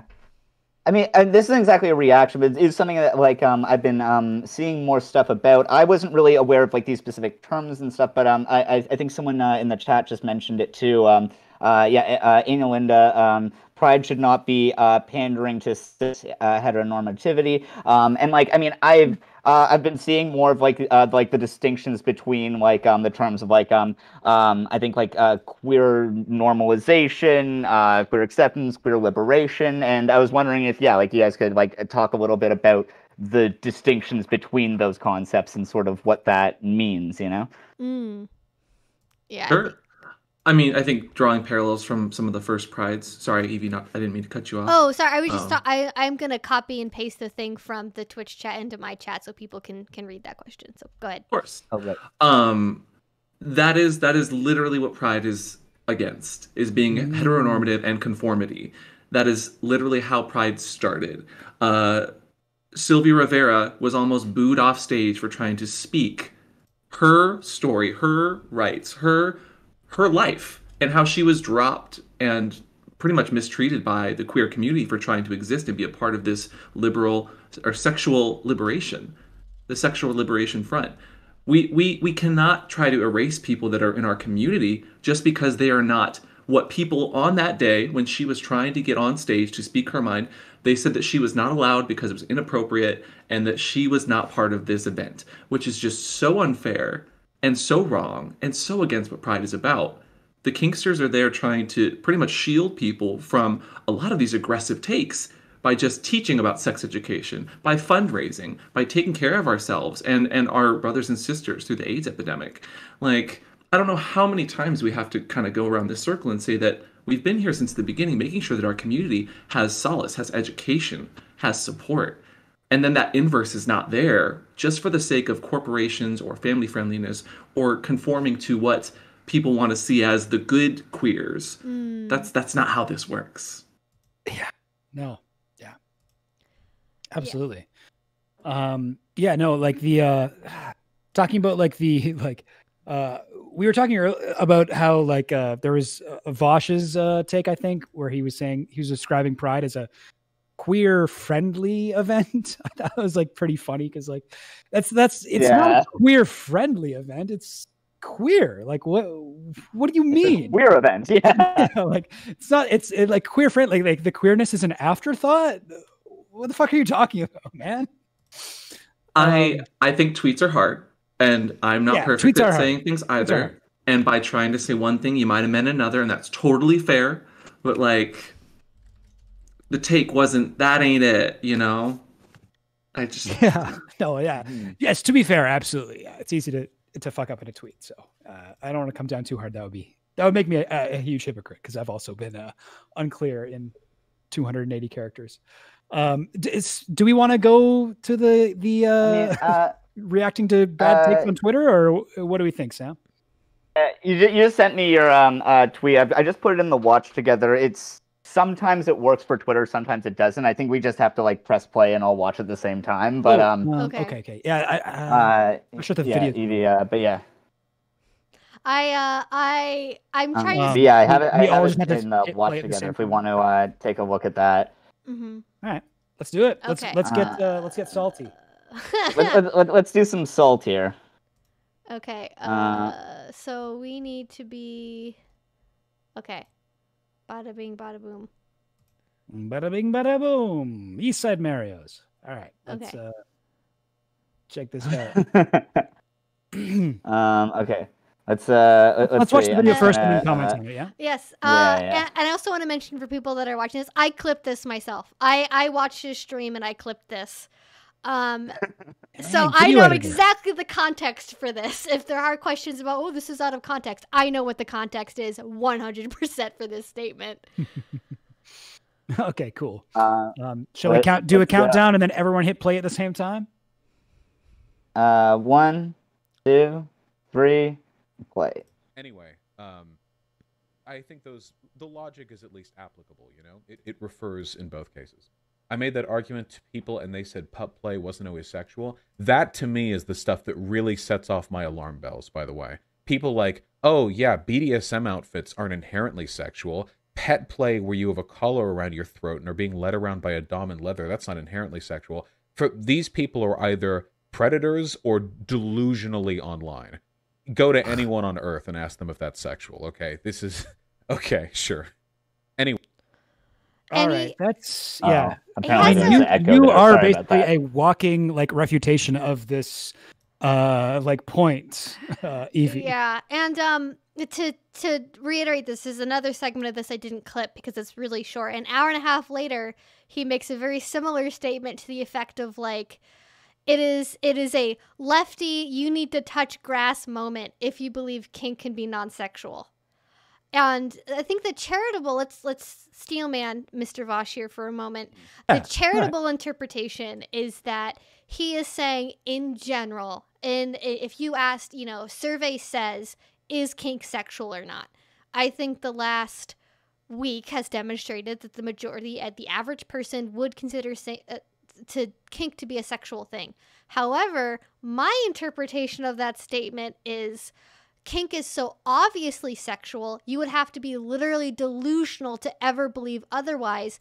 Anybody that is saying that it's not sexual is a predator or doesn't know what the hell they're talking about which is is is mind blowing to me. I would Mhm. hope his actual thoughts are closer to the Steelman take, but I'm not confident that's what he actually believes. right Mm. and i mean yeah i think that like basically i th- all different kinks have like sexual and non-sexual aspects and like you know people who participate in them for various reasons is is that Hmm. fair to say i mean Yeah, absolutely. And and to that, uh, I then ask, what is sex? Like, you can't have this this this conversation. You can't be so loud and argumentative about the topic without clarifying what things are. We've already talked about what kinks are. We've talked about BDSM. We talked about leather. Like, what is sex? Is sex getting off? Is sex wearing something that makes you feel sexy? That's really relevant to the argument that he's trying to make, but he doesn't really give us that at least not in anything that I, I, I was shared or watched or, or saw within that any of the debates either. We all have a, a different take on what it is. Um, is a, is sex a, a, ejaculation? Is sex being intimate with someone? Is sex making out? Like what someone finds sexy about uh, maybe a clown that throws pies in the face? Like people get off to that. Yeah, true. But but is that is that sex? Or is that just something that turns you on? Or like I, I'm I mean if I'm standing up, I'm marching in a parade with a dog mask on, I'm not aroused. I'm not feeling arousal. I'm I am not having sex with my partner and being intimate with my partner at that point in time. I'm marching in a parade. And that is not sex in my own definition of what sex is. Hmm. Yeah, people are, are attracted to feet. Does that mean that barefoot is legal? Is a now a fetish uh, movement? There Like, are- allowed to walk around with sandals on. there are document I have seen documented efforts of people that talk about working at certain places where that is their fetish. Doctors that have doctors' fetishes, but they do not act on that fetish. They just enjoy their line of work so much and they are passionate about it. But no one is screaming and yelling that doctors shouldn't be allowed to doctor so long as they're being ethical. Like, Right. Yeah. if we're if we're trying to draw parallels that are, are a little bit out there, but but are something that we see in our culture, I, yeah, I mean, like, I don't know. Yeah. Like, I, I, I'm curious, like, uh, Evie, like, as a, an Mhm. asexual person who participates in kink, like, what, what are, are your thoughts on this whole argument? Uh, I think I- think like in general, we having a question about what does sex even mean is very interesting because I've actually I've polled my own community about this before, um, because I've had disagreements with people. Some people think that only vaginal sex counts as like actual sex, and like everything else is like the foreplay leading up to that or like doesn't count as much as like penis and vagina intercourse does um, but it seems it seems to me that people making this argument about uh, being sexual around children like they they seem to think that just existing in an object that could be sexy for some people counts as being sexual. But whether or not kink is inherently sexual is a more general question. I don't think that kink is inherently sexual. I think it can be for some people. I think a sexual relationship to kink exists in different degrees with different activities. If it's not even a broad brush with people that do experience kink in sexual ways for some things. You might be sexually aroused by pain, but you might enjoy being tied up because you like that like tight, closed in kind of swaddly feeling. And that doesn't provoke any Mm. sexual response from you, but it, it feels good in its own way. And uh, you know, there's the bonding experience with the partners, there's the mental and emotional aspect, there's the sensual aspect of it, there's the actual like physical enjoyment of it like um you know it feels good to have your back scratched right? Like it might feel good to have like hot wax like poured on poured on your body simply because you like playing with those different tactile sensations. Um and it could also be because it's a catharsis right? Not even necessarily because you get sexually aroused by pain or something which is a very small portion of BDSM activities but also because uh being able to have that endorphin release in the same way that like people enjoy skydiving or being in hot air balloons or really tall roller coasters like there are lots of activities that have a similar kind of adrenaline rush and i could go on and on and on about the, the science of it but there are Hmm. actual like scientific studies uh, that that have been done that aren't necessarily on kink but are on closely related activities that we can kind of approximate from so for example, um, there there's a study that was done. I think it was by an anthropologist that uh, was talking about uh, people that did ritual hook pull suspensions, which is where they put like sorry, like content warning. We're talking about blood here for a second. Uh, so it's like where you put hooks into your body, typically deep into the flesh, and you are suspended to some degree on those hooks. It's a very physically intense experience. It's a very emotional experience, and the reason why people do that in kink because it is something that also happens in kink is not because they get off to doing it and they're masturbating in one hand while this is happening. It's because of that very deep emotional mental spiritual experience that can happen alongside of it. And uh, there's other concepts like transient hypofrontality and other ways of explaining like the activity that actually happens in the brain when you're engaging in kink that goes way beyond just genital part of the brain lights up erection happens you know that's way Right. more going on than just that And I mean, like, for people who are involved in like 24 7, like sexual uh, kink relationships, you can't be like sexually turned Yeah. on yeah at all hours of the day and night. Like that's like a, a part of it is just your life. Like, you Mhm. know, like if you're uh, you know, wearing leather in in public, that doesn't necessarily mean that's like that you're having sex at that moment. yeah and or the- that you'll have sex at all. Sorry, Yeah. go ahead. Or yeah, yeah, that's true. That's and it. Mhm. the, the argument that I saw is essentially, well, if it's reasonably assumable that if at some point you become you could become aroused by that thing, it is inappropriate for you to therefore do it in public. And so essentially what that leads to is if you have any kind of 24/7 BDSM relationship, you just shouldn't be in public because at some point you might be aroused around a child um, which I don't know how society would function if that was the case. In that case, I don't think we could let like most teenage boys out of the house for more than 20 minutes at a time.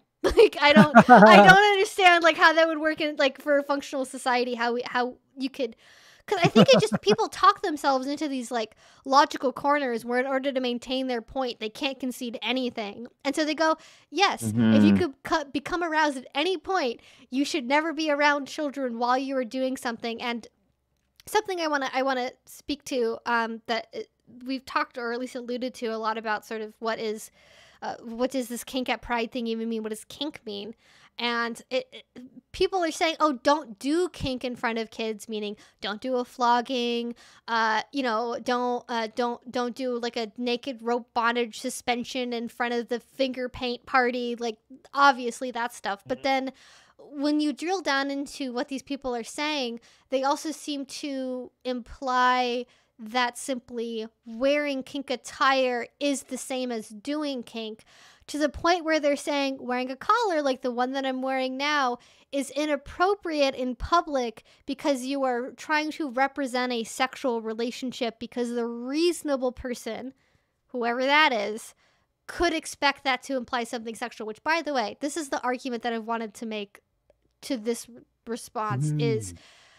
I don't know what could be more of a sexual symbol than like a Christian wedding ring. Because if you are the kind of person that waits until marriage to have sex, and your partner, your person you're married to, is the We're only fucking. person you've ever had sex with, your wedding ring is literally a symbol of God says it's okay that I fuck this person. And every single time I see somebody with a wedding ring, I am reminded of them fucking that person. And maybe That's I don't want to be reminded of that. That's so funny. That's so true. Next time I see somebody with a, a wedding ring, I'm like, I'm gonna be like, cover up that filth. No, Children around. Disgusting. I'm- There's, I'm there could be children who see your finger. I'm gonna look at them and I'm just gonna be like, nice. Yeah. Nice. Oh yeah, You give him a high five. it. Yeah, it's All right, you did it. You've had sex. Mm-hmm. meanwhile, like as an Should asexual person, married that, people be allowed at Pride? yeah, no married people. It's now a singles only event. It's going to be a giant mixer. It'll be great. Um, but it's funny because, like, it- you know, in a kink relationship, and there are lots of people that have power exchange DS relationships that are entirely non-sexual that never have any sexual contact. So. If we're worried about who's displaying their sexuality more prominently, it's actually more likely the person wearing a collar has a non-sexual relationship with their partner than the person wearing a wedding ring. At least at some point. There's obviously lots of married couples that don't have sex or stopped having sex at some point. But uh, what, are what are the percentages on that?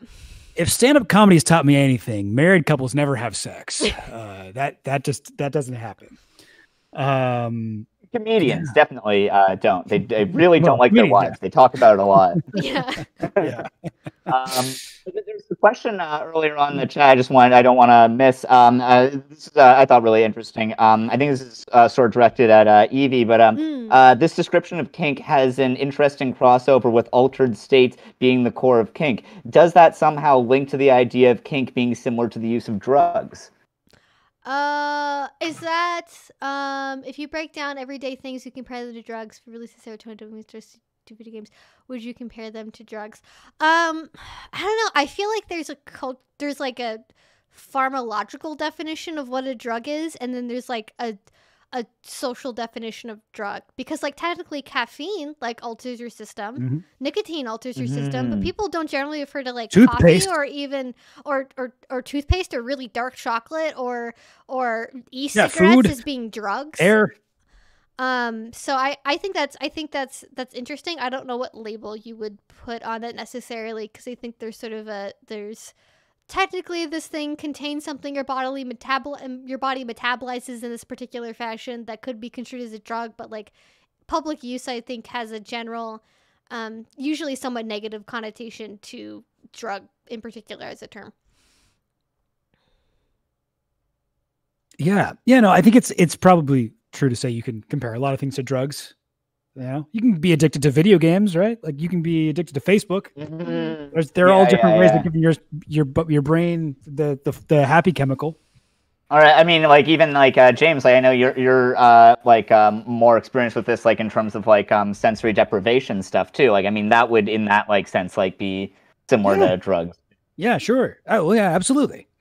I mean, yeah. Al- altered states. I don't know. Whatever. I don't think there's anything wrong with drugs, uh, obviously. Uh, but like, hmm uh, I mean- Minecraft over here.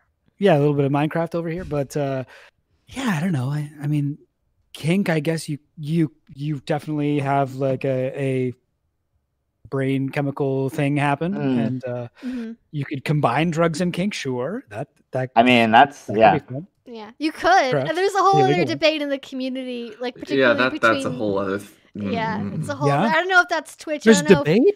I don't. Yeah, there's But why? conversations. I don't know if we can we can have that conversation without having to say in Minecraft every like two seconds. But Yeah, Um, I, I think only if you're talking about yourself, but in Mm. general, right? It should be a, should be okay. mhm. there there are definitely that- circumstances where it where it where it happens. Yeah. Um, all right. Yeah. Uh, Um, let, uh, let's go. Let's go more into uh, um, talking about like bad tweets. Yeah, Yeah, let's talk. Yeah, about yeah, tweets. yeah. uh, I'm I'm ready. let- I feel I feel like we've built up a good like background for everyone. Loving all the, Um, the history absolutely, kink and yeah. the, the the queer community, Stonewall, all that. Uh, let's read some some takes from people, and we'll call them bad. We'll call them bad. Yeah, yeah. I mean, um, okay. Uh, I, I, th- I feel like we should like maybe start with like um the uh, uh I don't know. Do, do we want to just go with the uh the original one? I think uh we, we can definitely go off Yeah. of uh, Shoe's take. Sorry, I didn't uh I didn't get everything uh all queued up, and my uh, computer's screaming at me because it does not like what I'm uh when I'm streaming. That's, that's oh, it doesn't. Uh, what a vanilla computer you have, man. I, yeah. That I, computer needs to loosen up. I I have like about every tweet humanly possible on my Twitter currently. So if your computer can't load stuff, I I am also happy to uh check the discourse. Do we want to go in like We- chronological order, spiciness I- order? Let's go, like what are let's we go doing? Mike? chronological. Yeah, let's go chronological. Let's Go let's go. Uh, let's let's yeah. let's create a history of the discourse for the record. Can, uh, can maybe um uh, E- uh Evie could Uh, do like a screen share? Would that work? I mean, if you want to do that, have- that that might be uh, that might be easier. Uh, uh, oh, like within not on OBS obviously, but in uh Uh, you can do it over Discord, yeah, and then you can do a screen Yeah, yeah. capture on- on on your uh, OBS. okay, let me Yeah, I'm, I'm just trying to look for uh um uh God, I have so many things happening on my on my screen right now. yeah. Uh, Um don't know if Ugh, can I just Streaming, you know. Well, yeah, I have like I have Also, my chat uh, yeah. open, I have your chat open, I've got Discord open. There's a lot going on here. Um, let's see. Yeah, yeah. Screen. Do you know how to share your s- stream uh, screen on? Yeah, I'm just trying Yeah. to figure out if there's a way can I can look at only one window. I think I I think I have it. Let me let me see. Oh yeah, yeah. You mean, can th- share I your screen that's, yeah. or yeah. I, I, there you go. Oh, I don't I don't This know. looks right. We're looking at Twitter. Okay, great. I should uh actually you know what? Um look, you guys can you guys can see all of all of my uh book Oh, can I not? It's not letting Oh. me Oh, I can. I'm, I'm just cropping that out. There you go. So I it's can't the- uh I can't seem to find my my mouse in this now. Oh, there it is. Did that allow Oh yeah, do yeah, yeah, yeah. Um relatable. yeah. The the the multiple uh, monitor struggle is very real. Yeah. So where'd my mouse go? Okay, so we have a lot of we have a lot of tweets. We got a lot of stuff going on here. Uh, Oh, you're just going into your replies and yeah, I'm just close. Oh I'm hell just yeah! Well, going back go. to the very beginning of the last several days of, of my life, uh, I figured that, that would be the easiest way to uh, go about things. Uh, and I think uh, Amp also uh, linked in the Discord chat that we have uh, his Oh right. take from like 2019, I think, about.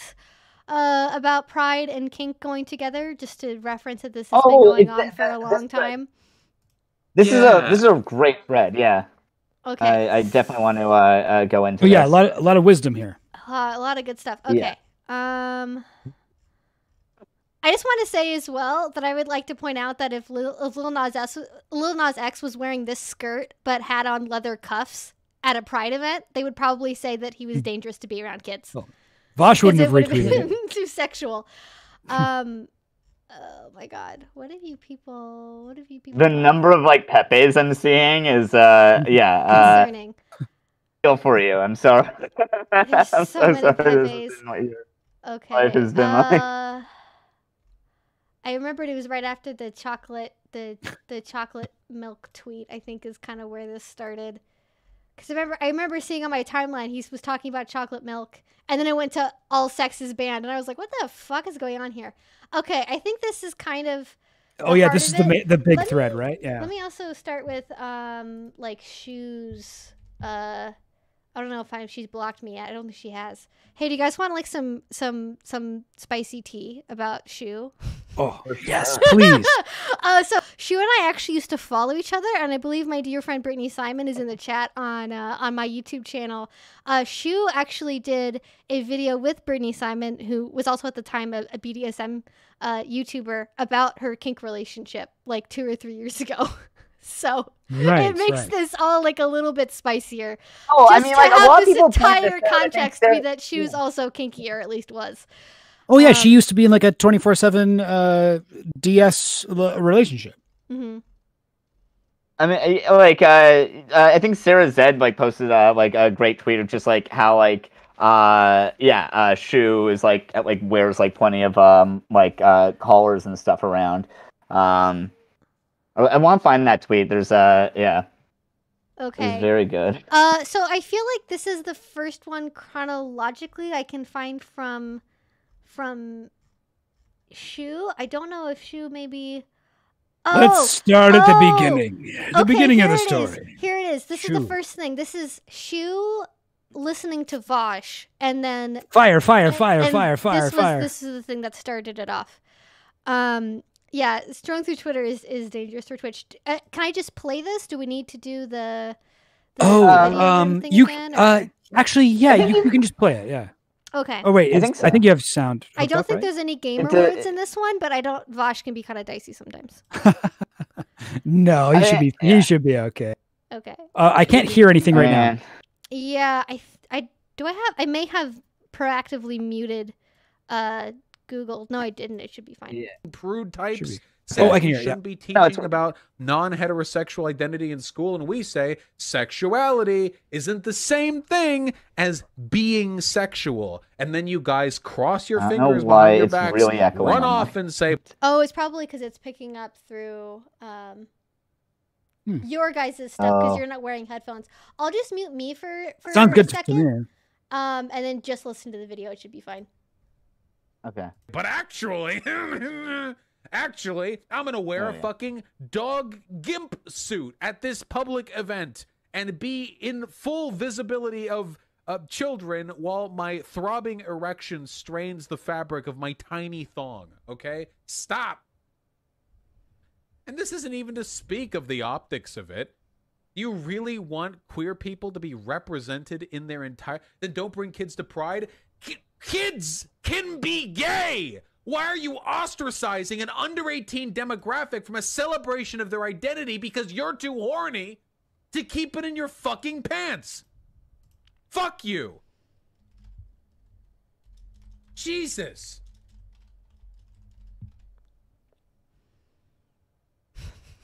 Kids should go to Pride. Oh, wow, it it's should only be a cool thing done. for it should be a block party with cotton candy and tie-dye shirt makers that, where you use the rainbow colors to make tie-dye shirts. It should be a community fair. If you want a kink thing, go to a private venue where you can find limitless uh, fucking armies of gays who want their ass plowed by randos, okay? And we're not done yet. We're not done. No, no. This is so reductive. I'd love to explain how kink and pride is made a fucking orgy. No, stop! Your kink isn't a discriminated identity. It's not. I don't care how many times subs try to make it out to be. You being a leather fetishist is not a fucking demographic that you're oppressed alongside, okay? You're not celebrating the liberation of people who wear leather in public It's not a queer thing. Pride is queer. Straights wear leather, gays wear leather. I don't care. Maybe gays do it more, but yes, it fucking is. All right, well, you know what else is part of queer pride? You all getting fucking bad. I actually can't believe you people. You're fucking. Just Listen, people who are trying to oh. tell me about history, you're banned. I don't want to hear it. the the, I'd like to remain historically illiterate and not be able to address this properly. the the the pride with which he is like fucking eh, like I just very quickly before you get into actually critiquing the, the points as a fellow mm-hmm. content creator I find it amazing that you would have that many people so consistently for days being like I think you might have a bad take about this and you being like actually I think my take is fine and I will never reevaluate a single thing about it. Yeah, no, I mean, yeah, that is a very, you know, common thing. I mean, I don't know. I uh I definitely have been criticized as a content creator for stuff. I, I you know, maybe not the- the best response to just be like fuck you, you're banned. You're you know? banned. Like, I yeah. just need to know: Does he want it to be queer friendly, or does he want it to be queer? Because Right. That yeah, that's that's one of his later tweets, I believe, where he describes pride as yeah. queer Believe- friendly. It's like queer yeah, queer people, you can come yeah. If you y'all- want. I'll, You're invited, I guess. I, like- I you know, can, it's, uh, it's really for like um, military recruiters, cops, and um, you know the IDF. They've been having a um uh, a, a tough a tough time lately, so they should. They're have the most quote. And then, You know, queer-friendly people can army. also Yeah. come too. Yeah. I'm To be fair, I think Vaush did raise a ton of money for a Palestinian charity recently. that but- that was like the most confusing part about all of this is like how can you do something so amazing like raising all of this money for a Palestinian yeah. charity and then immediately like th- like 380 back around into like this type of point it was, I had Three uh three eighty is that like a degree turn? yeah it's like you went what you kind of went the- protractor are you using? That's like a you, you 20 went all degree the way around and then you Yeah. still went too far afterwards You went all the way around and then he slightly shifted away from his original. Uh, yes. Uh, I'm trying to find. So there, there here's the the quote unquote uh, queer queer friendly tweet, which is slightly farther ahead in the in the timeline. Uh, but it, Mm-hmm. while we're having this conversation, we can at least ha- have this available for the viewers to view. Let's yeah, of course, Eh, of course. feast your eyes, viewers. Enjoy. Get cute shirts. Yes, Ah. Pride should be a cool, queer friendly block party you can attend to meet with organizers and get cute shirts. Everyone should be able to attend. It should be safe and uncontroversial. Dismissing accessibility as sanitation is a really underhanded and disgusting strategy. I mean, I don't know. can A we queer talk friendly about the? block party you can attend. That doesn't seem Mm. that fun. That seems like a like a, a university like, you know, what what do they call it when you're in like grade 12 and you're going around universities and getting shirts and shit like Pick me, pick me. Um, Amp. I I have a Yeah. lot of issues with this take for many reasons, but I mean one of the most important ones being there are so many other important discussions we could be having about pride and accessibility with with actual people who have disabilities, um, with marginalized communities that are that are a higher risk of of violence and things like this, um, of just making sure that it is accessible. But the the way he's using the term accessibility is very um, I believe incorrect based on based on uh, just the, the way that we use it and the perspective that's being taken here, which seems very disjointed. right yeah so his sentence is dismissing accessibility as sanitation is a really underhanded and disgusting strategy like it, it's not really the same conversation. Like it's it's a conversation to be had about accessibility but uh that's it, it, like you know if you have a disability you know you need like to have like a ramp to go into a a, a basement kind of thing. If Yeah. you're i- i- if you're talking about like accessibility for like people who are going to be grossed out by leather that's not actually a disability. I, I don't think. I Well, oh Yeah. and the, the argument needs to be made like what is the there's a there's a huge difference between being uncomfortable and being harmed Mhm. like being like ew i don't like leather and trauma is is a big thing as well and also Yeah. to that point there are people at least that i've spoken with that if we're going to use examples in, in your personal lives. There are people that have gone through sexual traumas that go to Pride and they see sex in a positive light that they find that healing. Mm. We have anecdotes and cases of yeah. that. So to say that that having sexual liberation and sexual topics like that present is going to harm people, that's actually the inverse in some cases. Damn, Mm. yeah. So your Really- discomfort, really- your, your discomfort does not equal trauma.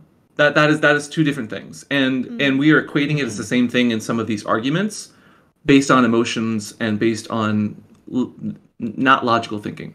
Again, Yeah. mind reading, scapegoating, fallacies. Right. Mhm, and I, mhm. I think it goes Yeah, back no, it to seems like Oh, I, I I was gonna say, Yeah. it seems like there's an overstatement of harm that happens on a fundamental level. I think possibly in part because our society denies help to people unless it reaches a certain threshold. Like unless you are literally being beaten senseless, like most people are like, pull yourself up by your bootstraps, you know, figure things out for yourself. And so I think we've kind of created a condition where sometimes people feel like they have to overstate harm in order to have their concerns uh, be heard, which creates scenarios like this one. It creates conflation between accessibility and simply feeling uncomfortable because I, I and think people in the chat have pointed this out is uh, there is a very a real slippery slope here uh, to do we allow drag queens and then from do we allow drag queens do we allow non-passing trans people to do we allow trans people at pride at all because lots of people Right. are very uncomfortable with all of those things and so I guess if we wanted to Mhm. appeal to as many, you know, mainstream heterosexual people as possible, it maybe makes sense to eliminate some of those groups from Pride. But then that doesn't actually like go with the values of Pride and like who's supposed to be represented at Pride. And and I I I, and I know there's people in the in both chats that that are are you know they have disabilities uh, and they have accessibility issues with Pride events, and I think that should absolutely be centered because I know where I live, uh, a lot of the Pride events happen in an area downtown which is has terrible parking. The only way you can get to it is by bus. Uh, you know, heaven help you if you have to take any sort of mobility aid over the horrible, you know, misshapen cobblestones downtown. Like it's it it's you know very very real. Most of the buildings these things are in aren't ADA compliant, and uh, people kind of make little whimpers about having a problem with that. But why are we valuing people maybe being a little bit uncomfortable over like people that literally can't even physically get to Pride in the first place because they aren't physically able to, and nobody gives enough of a shit to speak Mhm. up for them because they can't even physically get to the committee meetings to even have their voices heard in the first place. Uh, yeah. Absolutely. yeah. Having kinksters present there does provide representation for people that might not understand that their kinks are valid and that them existing is not illegal. Mm. There are so many people that have that that trauma in inside themselves or that that internalized homophobia that they think that kink is this terrible thing that they're never going to be able to experience, that they're never going to be happy, and having that kind of representation in a not overtly having sex in public sort of way, like people just standing there in their gear saying, "Hey, we're the leather contingent," makes it a friendly environment for someone that is able to go and practice kinks but is unsure how and how to do it safely to approach them and be like, "Hey, I'm I might be into this thing and I really appreciate what you guys have here and I would love to learn more. Let's talk." And we do that away from the crowds of people that don't want to be part of kink. You know? Mm. Like not trying to have those conversations with people that don't want to have those conversations. I'm not going up to every person at this parade and be like, "Hey, are you into kink? Are you into kink? Are you into kink? Are you into Yeah. kink?" You know what I mean? Yeah. That's not how that Where's works. your leather? Yeah. What's going on? Why Yeah. aren't you wearing a dog Let's mask go. right now? Yeah. and um, kink has so much that everyone can learn from. Yes. The reason that, that BDSM is this thing that people are not talking about is because kinksters have healthier relationships psychologically on the whole. Sorry to talk about the holes, but psychologically, Heyo. Based on the amount of communication that we have, the talking about wants and needs, covering pleasure, consent, there's so much you can learn from kink when you are having an educational perspective and a nice conversation instead of yelling. And I think that is a, a valid point that we also need to bring up here as well when we talk about it. It's not just de- de- debaucherous things that are happening. Sometimes it's very loving, beautiful conversations about what makes us fully formed humans. Hell yeah. I mean, it's also like I, if I'm if I'm understanding it, it, I, I think part of what his argument is like, and when when he talks about accessibility, is that like you know, um, uh, like queer kids who are like underage, who like it needs to be appropriate for them. But I mean, I feel like uh you know there, there's a lot of like obviously like like uh, straw men like ridiculous like exaggerations but like you know what they would be experiencing there but also like wouldn't it also to some extent be doing them a disservice if all it is is just like um cops waving rainbow flags at, instead of like Yeah. you know and it Sorry, Sam. yeah. As we've established, cops are a kink, so uh, that's oh right right right right right right right right right As someone Uh, who was raised Catholic in a Catholic school for all of my life, that was very uh, harmful and actual trauma to who I am as a person that I had to unlearn because I was, I was, I'm not going to say it like, it's not indoctrination, it's religion, but like it is very bad when you are told that you shouldn't exist and you're going to burn in hell your entire early life. And when I came out and I found that people were into the things I was into when it when I was of age and I went and started into it and educating myself but talking to this community that existed that was not trying to have sex with me but approached me at a bar in an appropriate setting and was like, "Hey, you're into this? What do you have questions? Here are some lovely resources. Here are some lovely people. Here's where you can learn and be safe and not do anything that's actually going to hurt you because you're into this thing. And if you don't have education, you're going to try and practice it alone and harm yourself. I have lost actual people to breath play because we do not talk about the fact that mm. these things exist. Mm-hmm. And we don't talk about the safety and the precautions against that. And there are cases of kids and teens that have tried breath play because they they started learning about their bodies and they killed themselves because we do not talk about topics like this in an educational manner. Mhm. That is why education and conversations like this and representation in a not overtly sexual, you're not having sex in public sort of way is important. Mm-hmm. Yeah, and I I think that really gets back to like why we both make the kind of content we do on BDSM in the first place. Is it's very widely misunderstood. And a quick definition for people who are watching this: uh, so breath play refers to like choking, like generally restricting airflow, hands around the throat, that kind of thing. There's whole if you if you want to know what it is, we can have a whole other conversation about that. Maybe we have time for a Q&A at- at the end. We can get more into exactly what that is. But um, I'm sure this is probably going to be something that will be horrifically clipped out of context by somebody somewhere. now that I've said that, it's definitely going to happen.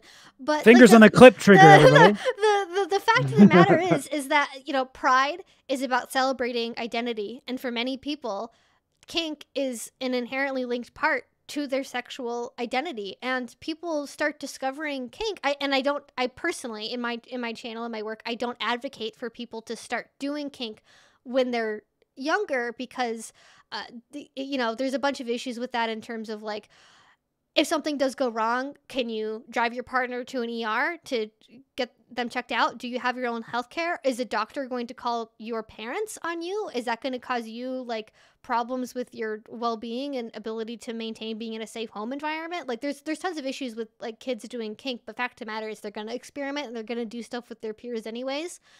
And kids that are, and by kids, I mean teenagers, like people that are, you know, 16, 17, Mhm. they kind of know, and I've probably kind of known for a while, a lot, a lot of us kind of understood we had kinky, kinky inclinations, you know, before we were actually fully adults.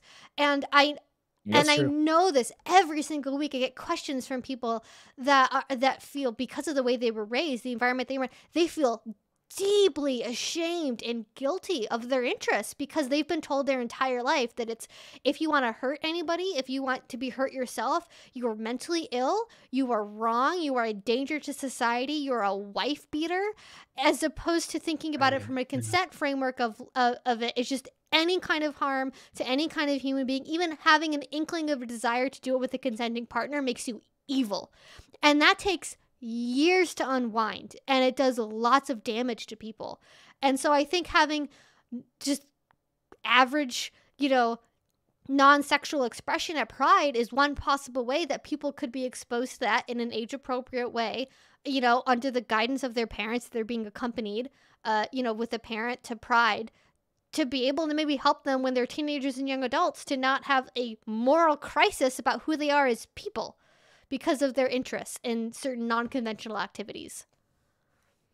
Yeah, just to uh, um, piggyback off of that, like in uh, in Sam and I are in Ontario, Canada, Mm. and we had a uh, sort of a change in the sex education curriculum recently, where it would start teaching about consent at like Mm. a very young age, at like grade one, I think. They would Mm. start teaching children about consent, which I think is so good. That's awesome. Yeah, yeah, Kids should learn about consent. Like the more you can teach kids about consent and like that idea, the more people you will actually protect from, you know, like child sexual assault, who will Mhm. actually know what's going on and be able to speak about it. Like that's a, a really good thing.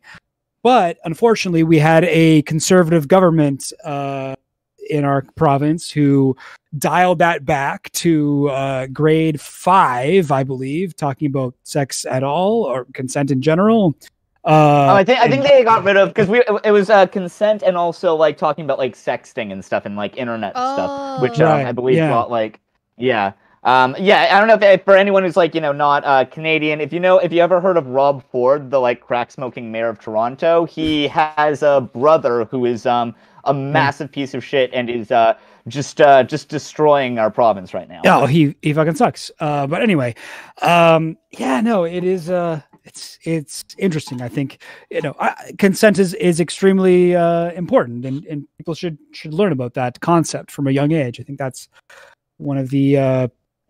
You know Absolutely. central. Yeah, if we can get some uh, fuck Doug Fords in the chat, that uh, you know. Yeah, yeah, There's a absolutely. couple. There- there's a there's a couple going on. Yeah. Um. Yeah. Luck All right. Doug Ford, absolutely. All right. Any any remaining takes about about this particular beautiful? Should we go? tweet? Should we go through the Vaush thread here? What was the first? Yeah. What did the first one so, say? um, the first one says, and I'll just read it out loud because I, I realize there's probably uh, some visually impaired people viewing, so I, I will I will Oh, yeah, read yeah. as well. Uh, kink at Pride makes people uncomfortable and makes the event less accessible when accessibility should be a priority. Keep less family friendly stuff to the many, many after parties and adjacent private venues every Pride has. The fact this is controversial is insane to me. By the way, as a person that's supposedly concerned with accessibility, uh, Vaush does not close caption his Twitch streams. So thanks for that, Vaush. Um, Uh, I, I just want to say, like, real, real quick, uh, before we move on from that first uh, tweet, I feel like uh, Vaush has had kind of like a, uh, as you know, debate culture would say, like a Motte and Bailey fallacy, Yeah. uh, where he will say things like, "Oh, no kink is involved anywhere at Pride," as he does in like this uh, first tweet here. All of Pride should be accessible to anyone uh, except for like the after parties and the private, you know, you, you go to a club afterwards or whatever. Um, but he sort of retreats later on to saying like, no, no, I'm just saying that there should be like a family friendly event at Pride. That's Mhm. all I'm saying. But from this first tweet, you can sort of, I, I, I mean, I would read this as saying, no kink allowed anywhere in public uh only keep that to the privacy of whatever after parties etc Yeah.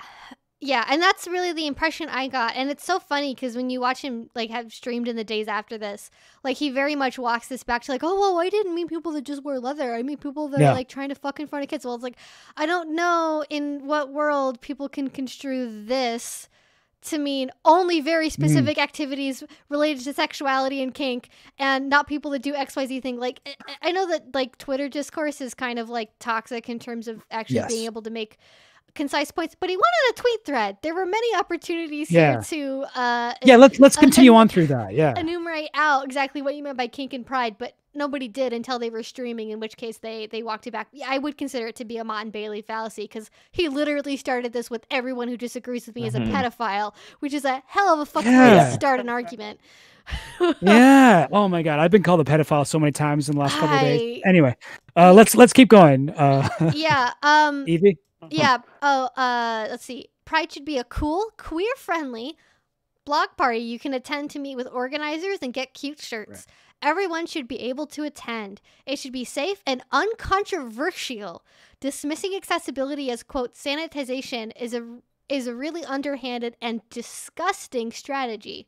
Do you want me to keep reading or just leave it at that? i mean we, we went over that one before but like Mhm. worth pointing out like pride should be uncontroversial like that is I, I don't think a good way of describing pride like for something that started out as like a revolutionary act. You like uncontroversial isn't an adjective I would like to be associated with pride. I don't know. What do you think, Amp? It was a riot. Yeah, It, wa- it was a riot. It's the most controversial thing you can you could imagine. Also, that comment is controversial. My shirt's fucking cute. Okay, I don't need more cute shirts. I got a cute shirt already. Listen, uh, Amp has too many cute shirts. We can't be giving him any more.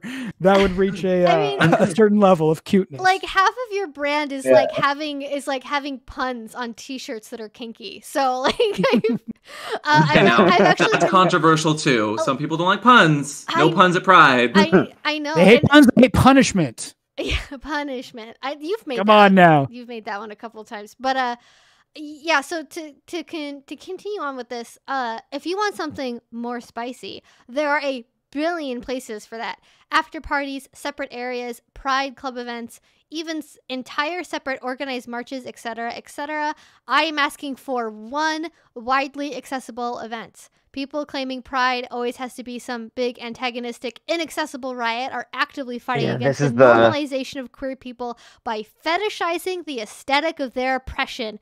You guys are tools of the establishment. All right, LMAO. I have to ask, what the fuck does that mean? what does that mean? I don't get it. I, I actually like. I read this tweet a few times. I don't understand what he's talking about. The uh, uh, you are actively fighting against the normalization of queer people by fetishizing the aesthetic of their oppression. What? First, first off, let's let's unpack the fact that there are millions of places to do the kink stuff. There's not, and in fact, there's less and less. Not only because of COVID, but because of regulations that that force sex clubs out of business Yeah. because they're seen as sex trafficking places. Um, so wrong. Uh, but there's no facts there to to support his statement, and we have plenty of instances of sex negative legislation that does force closures. Um, but I digress. Yeah, it's uh to to speak to that point, I think it's interesting when he says stuff like, "Oh, there's a billion places for that." I know factually in my community there was an I, I don't know if, if you remember this at all, Amp, but uh, I think it was at Thunder in the Mountains. There was no, it was uh, Sin in the City in Las Vegas. Um, a week before, there's this big BDSM convention that happens in Las Vegas. A week before it was supposed to happen, after a year of planning, it got rated at the highest level of Nevada state government because essentially someone was butthurt about the convention existing because they want to make Las Vegas a family friendly place. Las Vegas, a place I mm-hmm. went to when I was 13 years old, and there were women on the street forcing cards into my hand with pictures of nude prostitutes on them. But let's make Las Vegas a family friendly place.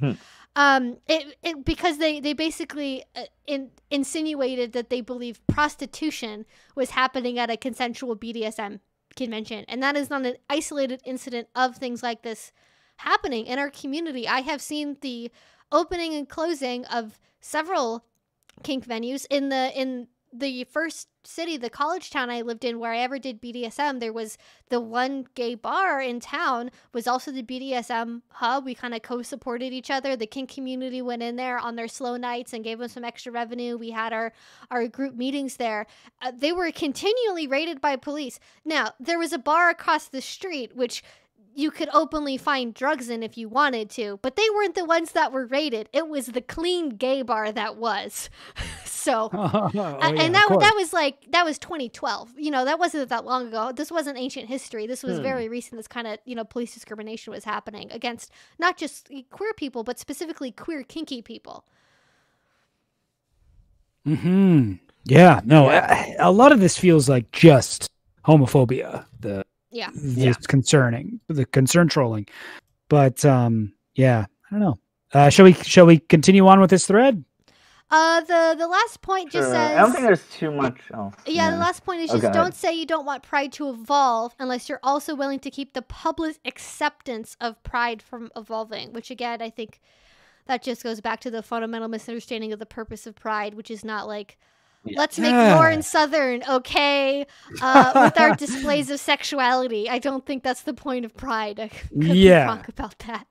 Oh, sorry, guys. Lauren Southern doesn't like this. Oh, everybody's like, "Oh, sh- really? Okay. What does she want us to change? hmm W- w- What does she need?" mm-hmm. Yeah. Uh, she would really like it if no one was gay or not white. Okay, no problem. Yeah. Lauren Southern. Let's. Once once we once we uh, get like Warren Southern on board, then we're good. We're done. Oh yeah, yeah, uh, yeah. The the struggle for equal rights for gay people is over. I- It's Mhm. done. Send them home. Okay. Yes. Now we're on shoe. Yeah, yeah, yeah. Uh, Let's and, do it. and- and and for for context for people, there's a tweet that is unavailable from the lovely, the amazing Big Joel. Uh, he he, he like, Yeah. I feel He so, deleted. Did he delete his account? Is he Um, gone? I don't think He- I, I saw him post about this. He he said he's turning off his account for like a week.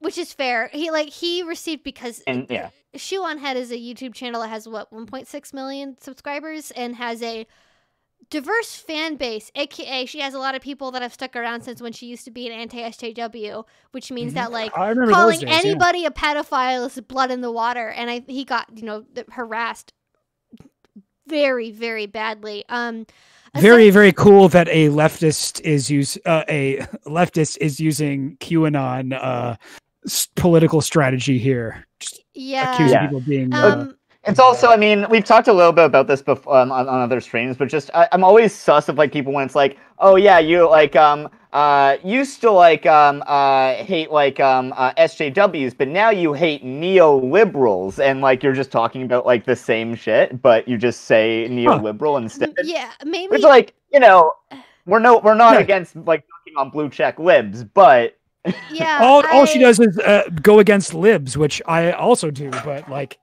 I sometimes you got to go after conservatives too, right? I just I feel like uh, anytime you base your identity off of hatred for another group, whether that be gay people or like idpol or uh, liberals, you're probably gonna end up having a bad time at some point. So it's probably best to like base yourself off of positive positions instead of like I hate this group and my Yeah. positions are whatever this group doesn't like.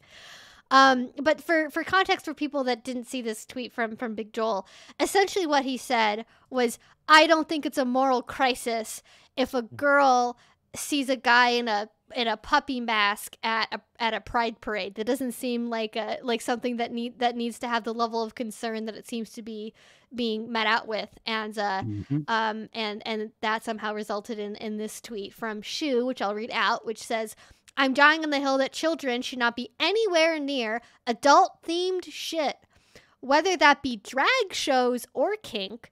And if the Overton window has shifted so far that I'm a reactionary for this take, then so be it. Uh, yeah, I mean, first of all, dr- talking about drag shows as adult themed shit. I know we've gone over that before. Um, did you want to speak more to that, Amp? Oh, I just want to see any one of them try to tell the drag community they can't be at Pride. I would love to see that. I would, I would, I would love Yeah, to see oh, the drag yeah, queens' actually. perspectives on this argument. No, Yeah, Pride would suck without drag queens. What would it even be? I, I, I'm, I definitely, I'm not part of like drag queen Twitter at all. I actually, I haven't seen any drag queen voices respond to this, and I, and I hope uh, that they are blissfully unaware of this segment of the internet deciding that they're dangerous because they get enough shit as, as it is from people like uh, Blair White. So I hope they're they're not seeing it. But I feel like implying that drag shows are uh, in and of themselves an adult themed adult themed shit is uh, perhaps misunderstanding uh, the entirety of what drag can be.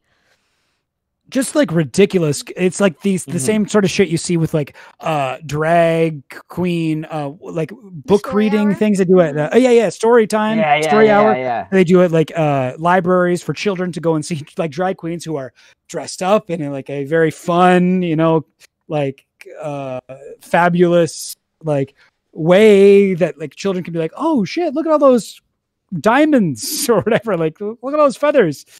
Like, kids then love the- that shit. The only thing that becomes aggressive or inappropriate or scary is when people try to bombard the, the drag queen story hours and yelling at them how they're inappropriate for kids, which then causes actual trauma and harm for the families that are there. Mhm. Yep. When drag queens are literally just reading stories in a costume. Yeah, I like. Oh, I yeah, I absolutely. remember being a kid and like my kindergarten teacher. I remember is, is you know 1999 or whatever. She had bright blue eyeshadow she wore every day. That was the coolest shit ever. When I was five years old, I was like, oh my gosh, bright blue eyeshadow. I would have loved to have a drag queen story hour because it's, you know, kids uh, don't have this lens of interpretation that adults have. So I think a lot of this comes down to adults perceiving harm happening to children that, like, isn't happening to children because they don't have the mental context of, oh, this is somebody actually acting secretly sexually. Kids don't even think about that. Like, that's not even that's not even like, possibly on their radar of a, like a thing that could be happening. They Um, literally don't know about sex at that age. Yeah, so it's it's just like it's fun dress up. You know, it looks like you know drag queen costumes look like half the things that like little girls have in. Uh, you know, in their play boxes at home, and they're like, "Oh my gosh, adults Yeah. dress up like the same way I do." Like they don't, they don't have any concept of that being. Now, of course, there are certain drag shows, of course, that would be inappropriate for children. But to uh, again, it goes back to this this painting with this broad brush about all kink at pride, no drag shows around kids, no no drag around kids. It's like, well, obviously you've you set up a terrible argument for yourself here because Yeah. there are instances where obviously that's not going to be harmful to kids. And in fact, I would argue there sh- there should be drag at Pride. There should be diverse gender expression at Pride because you know there are tons of there are tons of people I know in my life that didn't realize they were trans until they were in their like late 20s and puberty had long since passed them by because they they didn't have that representation they were younger to see themselves as being able to have an option besides like the the body and gender presentation that they were told was the only way that they could be when they were you know six years old or whatever. Um, so i think having more diverse representations of what masculinity can be or what your body can look like or how you can dress yourself or uh, gender expression anything like that i think more of that is good.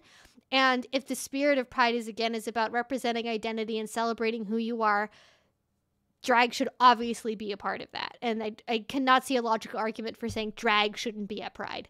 Also, sorry, Yeah. one one last note. I know I'm rambling here. I don't want to talk over anybody too much, but um, uh, I I don't know about uh, other Pride events, but for our our kink community, there's a there's a event called Folsom. There are several of them, uh, and that's like Kinky Pride. The one that happens in San Francisco is in September. I think there's two events this year. One of them I think is in September, and one's in one's in July. But one of the key cornerstones of that is a group called the Sisters of Perpetual Indulgence, and every year uh, they you use their their group to fundraise for AIDS. Like they that they I think I think I read on Wikipedia or their website that like I think on average they raise about three hundred thousand dollars, which is like uh I- I At mean, least. yeah at least it's probably more than that um but certainly i don't think we would want to stop that kind of fundraising because we're scared of the children uh, seeing somebody in a sequined a gown and a feather boa like, like it doesn't make sense to me Yeah.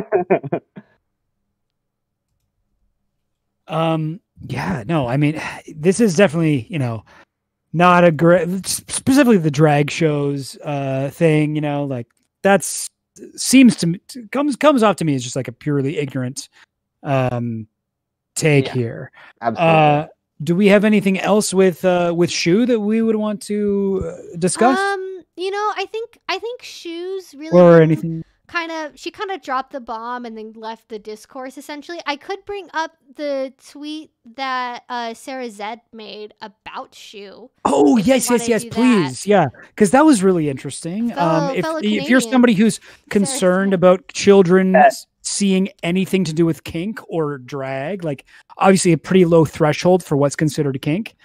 Uh, th- I thought, yeah, Sarah Z's um point here was, uh, uh yeah. Now the YouTuber whose name comes from a meme about Um, harassing cam girls and used to regularly make home horny BDSM tweets and post selfies in BDSM gear on a platform with minors is going to preach to us about gay men wearing BDSM gear at an event with, that a minor could conceivably go to.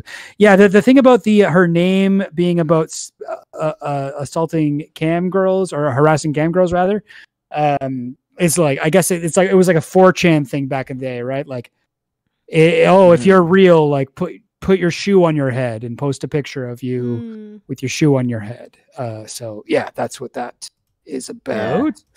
Um, why are you only this outraged at people discussing and dressing in ways that imply horny BDSM shit in public spaces where minors could conceivably run into them when it's gay men in gay spaces doing it, especially when it was your entire brand for years to do this?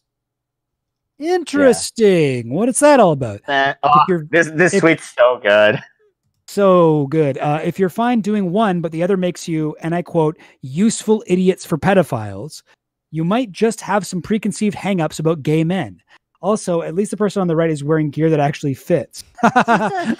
savage, just a savage rules. burn at the end there. So this is this issue for context. This is from April 2016. So this was several years ago now. As far as I know, because Shoe again, she dropped the bomb and then walked away. I don't know if she responded to this. Has any sort of follow up to this? I think she's kind of just left the the discourse alone. Um, from from Um, She has been. Uh, she hasn't like really uh, responded to anyone. She's just been like cherry picking the most damning out of context tweets that she can find and uh, Mm. posting those. Yeah. Mm. Or uh, you know, I think I think uh she was in the stream with Demon Mama and. Vaush, just antagonizing Demon Mama the entire time, knowing that Demon Mama wasn't supposed to reply to her, which was like, oh geez. June, what do you Wait, what do you mean she wasn't supposed to reply to her? Um, Did they have an agreement? Um, it was in the sense that um, so Demon Mom was there to debate Vaush, and I believe Vaush has a rule that you're like, if you're there to debate him, you're not allowed to like also bring in like another streamer that's in the chat and then fight them at the Oh. same time that you're like debating Okay, him. okay. So like Demon Mama made like a like a just one quick retort to her, and then kind of left it at that. But that seems to mostly be Shoe's involvement at uh, at present. Right. Yeah. Um. Yeah. I mean, I don't know. Like her, her color seems to be like maybe a bit loose, probably like Amazon purchase or something. Uh, it it's not like I don't know. It doesn't seem to be like it'd be painful or something like that. But um, yeah. No. It, that that is like displaying kink. I, I and I guess does Shoe Oh, does like Shoe have like more a younger audience? Is that fair to say about her? Um, I I don't. or at least maybe back then. I I don't know. It's like I don't know her YouTube analytics Yeah, are. I yeah. Um, so it's, it's always hard Mhm. to say. Um, even in that case, you know, everyone has a YouTube channel just clicks, yeah, I'm 18 plus, and they make a Google account. So it's not like that's really accurate, anyways. True. Mm-hmm. Um, my understanding, because I Mhm. mean, she's been on the internet for a long time now. Like when, like, who is the demographic that watches pretty girls making anti SJW content? 15 year old Mm. boys, like you True. know um it's mm. it's not something that generally appeals to an older adult audience and not to say nobody was watching it that was that was older i just find it um you know personally you know i'm wearing a collar right now i don't i don't find it troublesome on its face to wear a collar like that um the one thing i do take issue with though that is True. a specific pet peeve of mine is i really don't like it when my fellow kinky people uh use vanilla hashtags to talk about their kink oh, Um, true. Yeah. I, Oh, I yeah. repeatedly tell people like if it's Mother's Day or Father's Day or it's National Pet Day, I guess. Um, maybe don't use that as a way to force your like CGL or DDLG kink onto an unsuspecting audience. Like that's very purposely like you know vanilla people are looking in that tag. That's not a happy like kinky National Pet Day. Like I think there's ways to have tags like that that you are you know you're celebrating your your relationship with your daddy or your mommy on those holidays, but not in a way where you're like I'm gonna make sure a bunch of vanilla people not know about my kink relationship, and then five years later, I'm gonna complain that gay people and other exist at Pride. Like it, it's just uh, yeah, yeah, yeah. it's it, yeah, Belle Delphine should be using a different hashtag on Father's Day for her stuff. Yeah, yeah, that's my that's my specific pet, a pet peeve Al- with that. also, but yeah, this wasn't Shoe0nHead that posted that. To be fair, that was, I guess, her Um, boy uh, friend who posted. Yeah, there's another. There's a, so this is directly from her what? Twitter account. Uh, it takes a long Yeah. time to like. It took me a while to understand what's happening in this photo. So what is happening in this photo is Shoe is on a leash. Sitting on the floor underneath Wait, his what? desk, and is? she Wait, is what? taking a photo of her looking up at him while she's sitting on the ground next to his desk. And I know because I've taken pictures like that. That is the angle that that, that That's is. true. She, this is from the floor. Yeah. And that, that Where that's is there the from her leash? Oh, that's what that pink thing is. That's a Yeah. leash going towards the. Oh, because I did not understand what this was when I saw this. yeah, Okay, cool. Thank you for the explanation. Terrible on that. composition. yeah. Horrible. This is ugh. very very flattering uh to to him but yeah so she also was posting about it directly on on her platform, which again, on principle, I don't have a problem with, but she does have a young audience. And again, if we're going to make the argument that exposing minors to kink in any form is inherently problematic and it bad for optics, uh, maybe either address your previous tweets and apologize to them, admit what you did was wrong, or admit that you're currently being a hypocrite, or just something. Just don't ignore that these Mhm. things happen. That's the only thing I really have a problem with.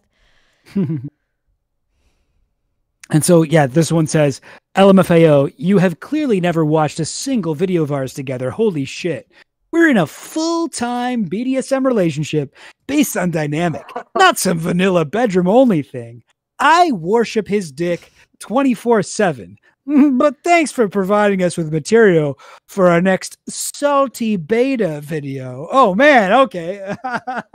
Yeah. yeah, so And even if we're not going off of this is from November 2017, even we're, if we're not going off of the behavior of these people from years ago, you know, currently I think the standard of Twitter or of Twitter and also uh, Twitch discourse, YouTube videos, like these people repeatedly and constantly make jokes about cuckolding, big mommy milkers, uh, Yeah, milfs getting fucked in the ass. Like you, you name a kinky sex act, and like people talk about this on stream while also knowing they have a minor audience because they have people that are in their chat like.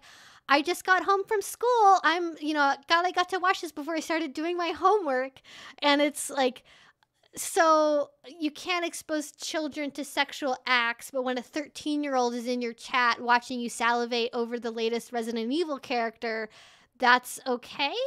But it's okay because it's heterosexual, right? I think that's the that's the vibe. Yeah. Her name is Yeah. Dami Mommy, and how dare you? fair, fair enough. Yeah, no, I mean, I don't know. This is like a pretty cringy tweet, but also like I don't know. It's it's not that bad on its own. It's just it, it is mean, sort oh, of like yeah, pretty hip- uh, hypocritical to be complaining Yeah. about you know gay people wearing leather and then posting shit that's ac- actually explicitly se- sexual to your like much more so than I think like a lot of like Oh, what yeah. she's like complaining about. Like this Like- is yeah. if if if I had a choice, I was like, do you want this kid to be exposed to drag queens or this tweet by Shoe? I would immediately choose drag queens. Like, My that's, God, like, yeah. yeah, not, not even close. Um, yeah, no, it, it's it's bad. It's bad stuff. hmm So I don't really have any other strong opinions about this tweet. I think we all agree in the chat this is just kind of cringe, and that uh, it, Yeah, it just demonstrates the, some degree of hypocrisy uh, over over uh, uh, what I, I believe Demon Mama referred to this as uh, a moral panic. Uh, uh, a moral Yeah. panic, which, uh, if real, they are contributing to with their own behavior. So, uh, yeah, yeah, Eh. yeah, uh, yeah, totally. I just Shoe used to follow me on Twitter. How did you Oh, go yeah, so there's- wrong? Yeah, yeah. Yeah. What Don't happened? And you- me. I don't noticed- know, uh, You don't I follow don't know her for How either. long? Hmm. Uh, what was that? What? Um. Yeah. Well, I don't know what I don't know what happens. no, Uh. no, you. I think. Uh. Oh, can you guys not hear me? Something. Something happened with my I mic. can hear you. Yeah. Oh, okay. Yeah, yeah, we can hear. James, Um, can you? Oh yeah. Okay. Can you guys? Yeah, I Um, think we're on. the Yeah, So- yeah. I don't know what happened there. Okay. Weirdness. Okay. Uh. I mean, we're like three hours into a stream, so that's some technological. Yeah, no, that- is bound that to happen. Um. In terms of discourse, uh, in and and takes. Uh, what other takes do we want to look at? I think there's one um, that's from Xavier Online. Um, I remember that one. I I blocked him at the Oh, I very beginning of this. this. I am willing to Oh, unblock okay. him. Uh, to because I was Wait, like, oh, I mean, uh, Xavier Online, don't blow this, okay? I don't know even how to like get to his like page. I'm really bad at spelling. Uh, not Xander Hall. Who who am I trying? Xanderhal rules. Um. Oh wait, no, Zan- sorry, I was thinking about somebody no, different. no, yeah. What, he does not. What, what, uh, Xander Uh, thinking Corbis about- would rules. Yeah, I was somebody thinking in- Xander Corbis. would somebody in the chat like be willing to link to like Xavier's Online's like uh, Twitter account so I can get Oh, I to it think I can directly, or if find it. somebody else can can get to it? Um. I'm, I'm looking right now. I, I don't know how it's how, you, how they spell it either. Things with X's, they just they mess they mess with my brain. Oh, Xavier's online, right? Yeah. Oh, I found it. Yeah, Uh, yeah. Uh, okay, okay. I don't know this person. they were like one of the first people that made a like a tweet about it and they were sort of in like in the same discourse bubble as uh as Shoe and Vaush was but uh to my knowledge anyways a smaller audience okay somebody uh oh you guys linked it thank you let me copy that yeah Sarah's that's great we love her Okay. um can I uh Oh, just un the yeah I'll, best. I'll unblock wow. So many. Look at God, why are there so many Pepe memes? Um, no, I hate this. This is my Weird. This, this weird, weird correlation there. Weird. Uh, I don't. I don't like this tweet. Uh, Mavash, no. This isn't even funny. I don't get it. Um, what is it? um, I don't like it's. I'm into BDSM. There's like a, Oh. there's like a whole meme format which is like Oh, I'm M. into- Vaush. Yeah, I'm into BDSM. There's ones that are like, you know, I yeah, I'm into BDSM. You know, beautiful dogs surrounding me, or like something like that. You know, that's Yeah. actually cute and funny. Uh, I did see. Uh, I did see one that I thought was really good. It was um, Mm. Step Back History. Uh, Tristan uh, was like, uh, "Yeah, I'm into BDSM, boycott, divestment, uh, Misreal is." Misreal. but yeah, uh, oh yeah, that's true. BDS, BDSM. yeah, Boycott, divestment, sanctions, Misreal. yeah. uh, I wish I could just like open up different. God, there's so many. Why do you have so many tweets? just got- What So did we many- do wrong on IT? No, oh, Nightbot, what? Delru, what's going on? Mhm. Oh, Delru, is anyone else getting janky audio? Are we getting bad audio right now? Oh, is this bad? What's what's going on? Uh, I don't know if my chat's saying anything. Um, my chat isn't saying anything about uh, uh, Uh, things being I'm bad. hoping it's not my internet. It can go Oh. bad sometimes. Is it uh it's cutting in and out occasionally, says Del Delru. Okay. Socktator says audio is good. Uh yeah, let us know guys. If, if audio sucks, we can we can do something about it. But um Del Delru sounds like a YP, not an MP. It's a your problem. Not a my problem. Okay, I think. Yeah, tell him. Owned. This is a mean stream. Audio's going to my end. Will live. I'm getting robotic sound, but it's far and in between. Okay. Delru, if Okay. Dan was here, yeah, I'm back. Delru, wow. Sorry, Delru. So the hard S's are fuzzy. Okay, guys, no more S words. Okay, we just. Uh, All right.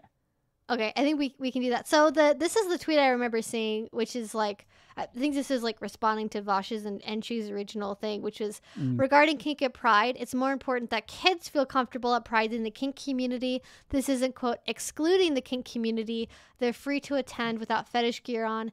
Children and kink do not mix. That's the bottom long line here. This isn't about assimilation, cleaning up pride for the straights, or quote attacking traditions. It's about helping LGBTQ kids feel welcome and safe. Queer identity isn't inherently sexual, and it's important that they understand that. Um, I have no idea what uh Xavier's or Xavier, whatever his I don't know what his gender orientation or what his sexual orientation is. Um, Either. either any any of those above any of the LGBTs or Qs. Um, not that that really necessarily matters for this uh for this discourse. but it- Yeah. it, it does somewhat contribute in the fact that like um have have you been to Pride and do you know what it actually is like to go to an event like that? I think is the main question I would have. Yeah, I mean, like, again, like, uh, there's a line, you know, like, the, not. I don't think that like the like scat fetishes fetishists should have their own float or whatever. Uh, uh, like, I think there's a there's a line we can we can make, but any kink, like anything, any fetish gear, like any kind of thing, is a pretty huge line to draw, especially when you claim you're not talking about cleaning up pride for the straights or attacking traditions when you know leather has been as we've discussed has been a part of, of pride since the beginning but also again not not making any clarification or providing terminology of what fetish gear is because fetish gear would rely on getting sexual gratification off of a specific body part or Mm. thing that is dehumanizing that's not what kink is kink is Oh, yeah, yeah. fetish Yeah. Amp, do you want to talk talk about that? Like, what's what's the difference between a fetish and a kink? Mm. So, I mean, kink, as we've talked about, is anything that's not vanilla sex, pretty much. Anything that's not normal in that regard. Whereas fetish is a form of like sexual desire in which you're getting gratification linked to um, something that is not normal to a specific degree. So, someone could be a foot fetishist because they're totally into feet and only into feet, and that's the only reason they're interested in someone is their feet. Like it's it's very dehumanizing in that way. Uh, and Evie, if I'm incorrect, by all means, please jump in. But like that's my basic big difference there is like fetish is very direct, very very only this thing. I need this thing to get off. Kink Yeah. is doing things that is not vanilla sex that you can get off to, but you're not necessarily having sex. So like fetish gear is like I, I would say that fetish is about sex, whereas kink is about your dynamic, who you are. Yeah. Evie, would you? I- Interesting. I, I would say the way that I define it for myself is very, very similar. I, I define kink as a non normative intimacy practice.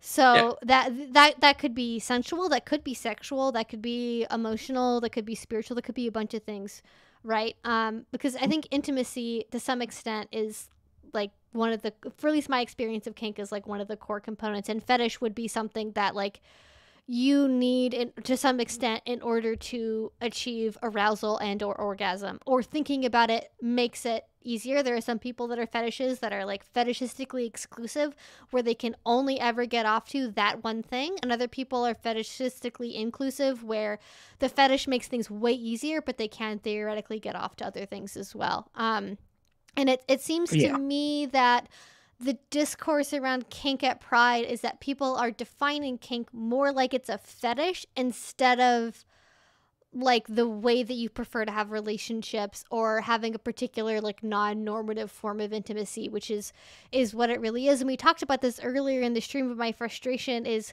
like from a from a sociological from an anthropolo- from an anthropological perspective it doesn't make any sense that kinksters are not the ones that are allowed to define what kink means to them.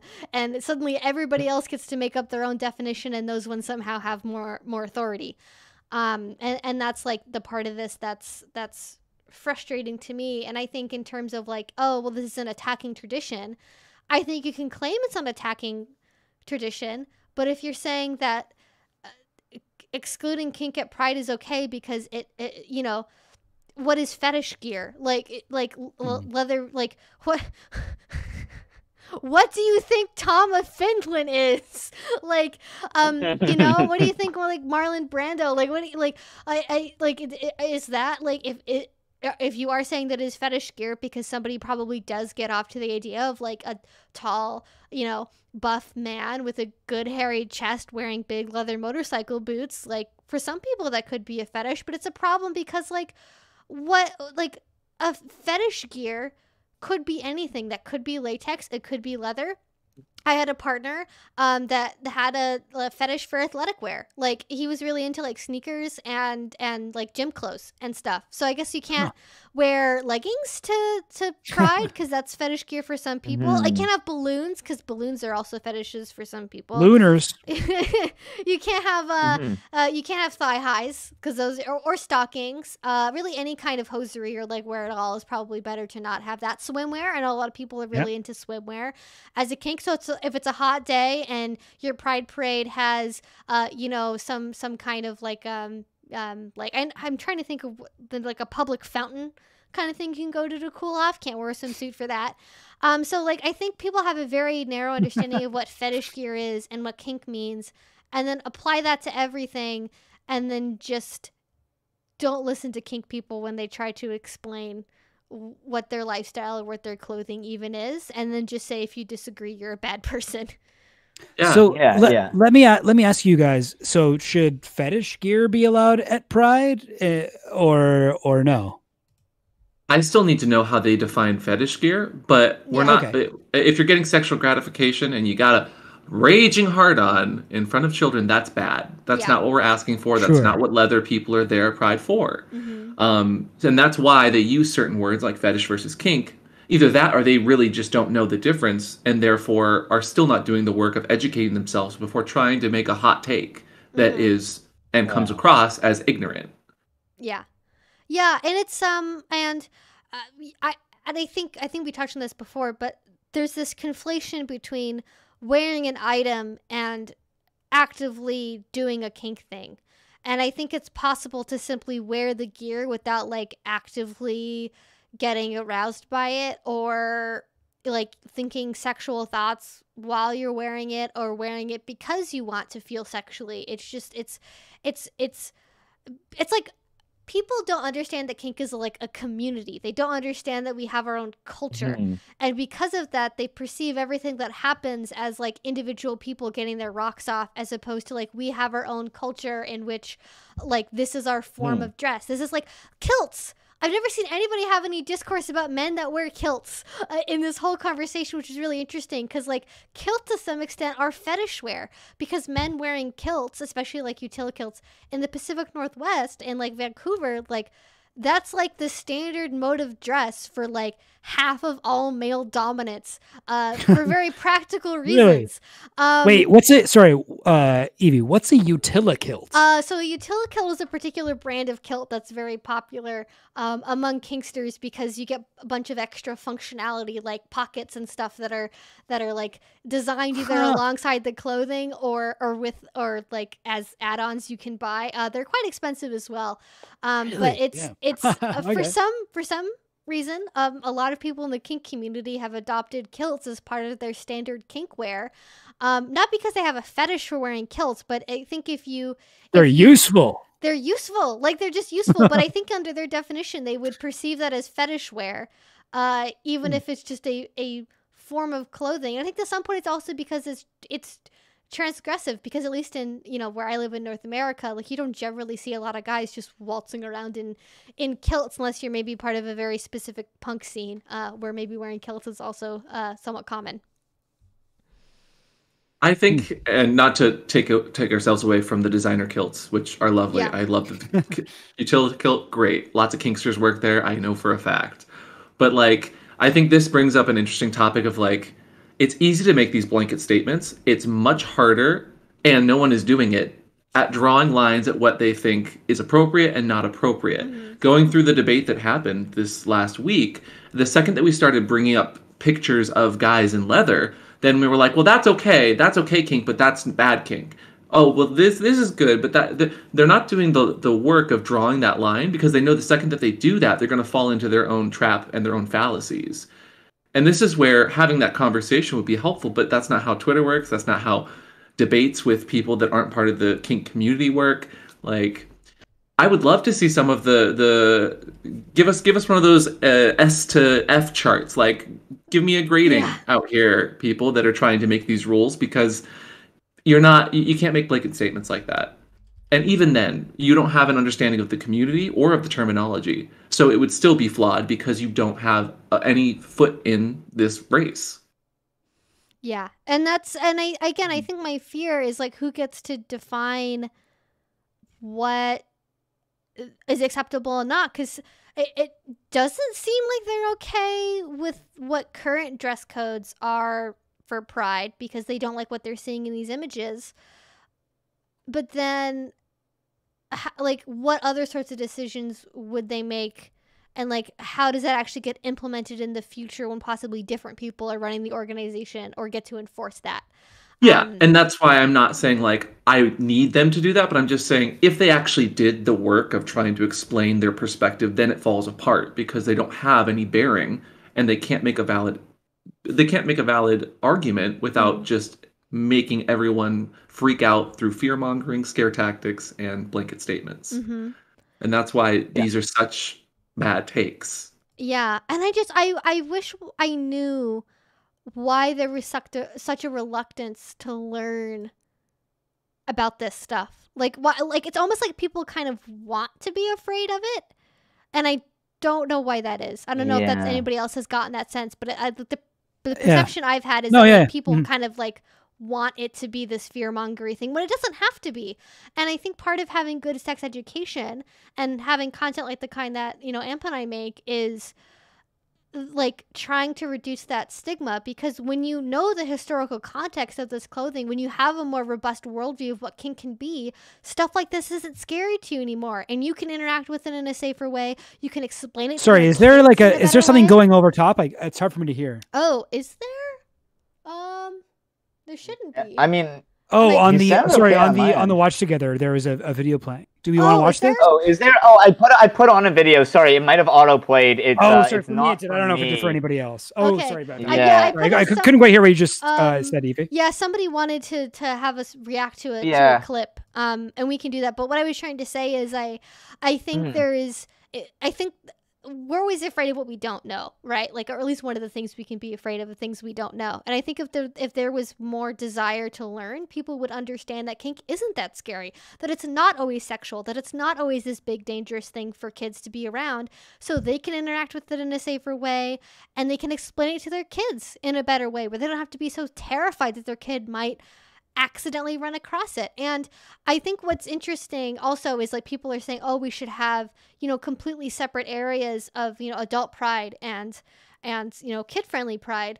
Well, people walking to Pride are still going to interact with each other. Can they not walk to Pride wearing their outfits? What if kids can visually see, like from across the block at a certain angle, like this adult only part? Is that okay? Like, how secluded are we expecting kink to be? Like, does it have to literally be in a closed off building, you know, in a different part of the city at a different event to make sure that the kids are 100% never going to see anything like this? Like, Yeah. how much segregation are people No, no. expecting? Let's build a separate city just for queer people. I, I would love to have a separate a separate BDSM city. That would be the Yeah. best vacation destination. Welcome to BDSM City. Here's your whip. Here's your collar. Come on in. yes, yeah, that's exactly. Everyone's Um, a do we want to watch this uh, this Hans clip from the debate that Oh, we were almost on? that Oh, all yeah, of us this somehow could've a- avoided being in? This could have been all three of us could have been on this. This- All four, all four of us could have been on All this. four of easy. us. Okay, yeah, I'm I'm I'm good with watching it unless you have anything additional you want to say. Yeah. Oh. No, yeah. Uh, cool. I'm uh, I'm just going to uh, uh, duh, duh. uh, I I'm putting it on here. BDSM duh, duh. Island. All right. Uh, I'd Yeah. also, while we're getting that set up, I'd love to ask the chat if they have anything in particular that they would like our opinion about in terms of a tweet or a clip take from somebody's stream. I would, I personally would like to see more of that, just so there's Mm. not so much scrolling through Twitter. If we could get some more links, that might be helpful. Yeah. I'd like to go to some uh, Riley Grace uh, Roshong tweets at some yes, point, but we can. I um, don't. I. I don't have yeah. her blocked. I don't know if she's blocked me, uh, so we may have to explore on that one a, a little bit. Okay, okay. Um, all right. But I'm, yeah, I yeah. definitely. I, I think I think we're yeah. Um. But let's let's yeah, watch this that- video that, that- somebody that's sent. one. That's one bridge we super don't have to worry about uh, burning. Yeah, she's already uh, blocked James, and uh, we're we're Yeah. socialists, so she Yeah. she already hates us. He already doesn't like us. Yeah. yeah, unfortunate. Okay. Um so I Yeah. I I am in the watch together. Is that Should we all just press play at the same Yeah, time then? Uh, Sam, are you ready with the? Yeah, Uh... I thi- Really? I'm ready. Yeah, I think it might just have to All be like we all press play at the same time. Oh, it started, All right. started playing So automatically. yeah, let's uh one, two, and three. Really? This is no. This is terrible. All right, hold on. Quick question. If someone, yeah, yeah, no. If someone is masturbating in front of a three-year-old and the three-year-old has no idea what's going on, is that fine? Um, The fact that you're hesitating not- is terrible. Oh my oh god. Oh my Oh god. Wait. my god. How are you Wait, are hesitating they- with this? are they seeing it or are they not? Are are they actually seeing Yes. it? Oh, then no, They're that's not seeing okay. it. Oh my course they God. And are. okay. So okay, here's the thing: right. the ruling you just for said was it based on the understanding of the observer? And Really?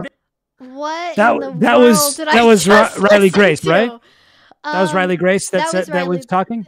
That was Riley Grace. Yeah. Because yeah, that's Yeah. basically what I got attacked for for saying and blocked from her for saying her thing. Like, um, yeah, like uh, that. Yeah, I, I don't know. The the question, um, comparing, I don't know, wearing kink at pride to an actual act of sexual assault, I think is pretty disingenuous. Uh, yeah. Yeah, And again- absolutely. the the moments that I watched of that debate were a lot of yelling over each other. There, Mhm. it was it was not properly scoped, Mhm. and the people did not seem to understand what they were talking about a lot of the time. That which is not to say that they they don't have good takes, but the the the takes were founded on really bad bad explanations of what Mhm. they think kink, pride, and and, and apparently masturbating in public not the was same. topic. Yeah. Not the same thing. Um, and It's- all it's hypotheticals, all galaxies hypotheticals apart. with with nothing that actually made, at least in my my opinion, a good argument there. Yeah. Yeah. Um, yeah, very much so. It Um, actually reminds me, like, fr- coming from the stand-up comedy world, it's like that debate tactic makes me think of uh, comics who are like, "Oh, like, oh, you guys are together. How long have you been dating?" And they ask the dude, and the dude's like, "Oh," uh, uh, uh," and they're like, "Wow, you're hesitating to answer? Oh my god, wh- this guy doesn't. He's got one foot out the door, or whatever." Just because they put this guy on the spot, it's like Mm. you didn't actually make a point, you know? You just like this guy's taking like Yeah, a yeah. seconds to figure out what you're trying to ask him or whatever. Like, oh my god, the fact that you're hesitating right now, like I don't know. I just like heard that so many times Yeah. in I- like fucking cheesy comedy clubs. I just don't It's, uh, understand like how you think you're gonna get an immediate response after somebody's screaming at you. Like Yeah. if somebody is initiating at Yeah. a point by doing it at like volume that literally peaked my OBS to like maximum red Yeah, out of yeah, nowhere. yeah. Like you're gonna be a little taken aback by that and be like, I need to process what you even just said before I formulate a response because you're literally yelling at me. Yeah. Um, by the way, Yeah. good way of having trauma informed discourse. Thanks, Riley. Uh, maybe screaming Yeah. at your opponents actually isn't the best thing to do when you're trying to perceivably be sensitive to people's needs. Um, it's And uh, I yeah. believe they left the debate early because they were getting frustrated, and I might be wrong on that, but Mm. That's usually not how a debate goes. You don't yell at people and then leave after you've said what you think is correct, even Mm. though you still disagree with everyone. Like, Yeah, it's uh, yeah, Mhm. it just makes me feel weird. It it's, it's gross feelings about a discussion that wasn't handled well. And Totally. I- Um, and speaking, I I don't know if they're still there. I think at some point Hans was in the chat like a long, long time ago. But to they Yeah. they wanted our opinion about um the debate. I found the the first half before he did his pee break, Riley was dominating the conversation and interrupted absolutely everybody that was speaking constantly, almost without ever being corrected for doing so. Um, and it seemed like the main thing that Riley was there for um, was to just yell at everybody for being uh, of different opinion than her. And then, like, I, I can, I understand it in the same way that I understand when people legitimately think that, like, abortion is killing a baby. Like, if you legitimately believe that abortion is like killing a child, I can see why you Mhm. would scream and act inappropriately because you think it's actually murder. However, that doesn't mean that you get to like have a debate, dominate it, and then act irrationally around everyone around you and expect that to be like productive discourse because you're so emotionally invested in an argument like that. True. Um, so Yeah. so that was that was interesting. I don't know why Riley had that particular reaction. I I know one thing that that Vaush uh, brought up in in one of his streams that I don't have clips, so we can't share it, but. It was brought up to me as part of that clip I showed earlier from my Twitter. Uh, I, Hmm. I missed it originally, and then after the stream was ended, I, I went back and I and I caught this part. Um, evidently, um, Vaush had an experience when he uh, was younger that was not at a Pride event, but where um, the person had taken advantage of like his sexual naivete, if I remember correctly, um, basically saying that like um, you know, you should be okay with this and kind of like coercing him to potentially be okay with the sexual scenario. And he had kind of seen some of this kink at pride discourse as like trying to convince kids that it's okay to be around certain expressions of sexuality as like a Trojan horse to like sexual contact with children. Um, which again is Ill- is illegal regardless of how you go about doing it. Um, so I think there could be a degree in this discourse of people having um, legitimately very emotional reactions because they have a trauma history that is related to scenarios that their brain is connecting to talking about subjects like this, which is really sad and unfortunate. Um, and I hope that Mhm. people that are going through that are able to step back from these conversations and take that moment for healing and self care before engaging in, in additional harm by continuing to go through this discourse when they're not in an emotional and mental place to do so in a healthy way. Mhm. Yeah, totally. Um, yeah, absolutely. Do, uh, do we want to go over this uh, mouthy infidel tweet you got up here, Sam? hmm Uh, yeah, we we- yeah we've got this one. Uh, this, uh, someone in our chat uh, sent us this. Um, imagine being like a 13 year old gay kid who wants to go to Pride, but your parents won't let you because some dipshits want to use this opportunity to publicly fuck each other in dog costumes. I mean, I feel like we've already gone over why this is like an incorrect uh, take. Yeah, and yeah, No Uh, one yeah. is having public sex in leather uh, dog costumes. Again, this is June. Uh, it's too hot. To, yeah, yeah. I mean, I think this might be a bit more interesting. Uh, the like whole um, my whole point is that Pride should be for kids. Pride is about accepting and celebrating people of marginalized identity. LGBT uh, uh, kids need that more than anyone.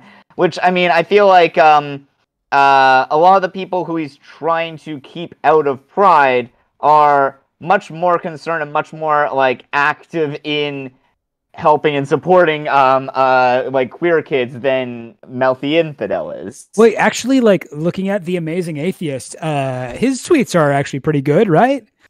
Did you? Did you Amazing those? Atheist uh, is sometimes good, sometimes not. Now I don't- he's like yeah. better, but not No, as. I don't remember. I haven't checked in on him since like the early like. Oh yeah, he used to be like a full-on piece of SJW. shit, and Yeah, he's like- like since like started releasing videos being like, I've changed some of my opinions. Here's what they are, and like some of them are very good, and then some of them still suck. I is, mean, uh, that's well, like- I well, what he's saying to like Mouthy Shoe and Infidel Head, here. right? That's like Shoe0nHead. It's like, oh, Well, it yeah, used they be were part of the same- And they're because they're all part of the whole like original like atheist anti SJW crowd. So of course Yeah. they're gonna have some good takes and some bad takes because the anti SJW reactionary is still just below the surface. Anyways, yeah, yeah. But uh, his take here, I think, is like pretty good, right? Uh, Mm-hmm. he responds to the first one. Imagine having to wait until you're old enough to do something because not everything is for kids.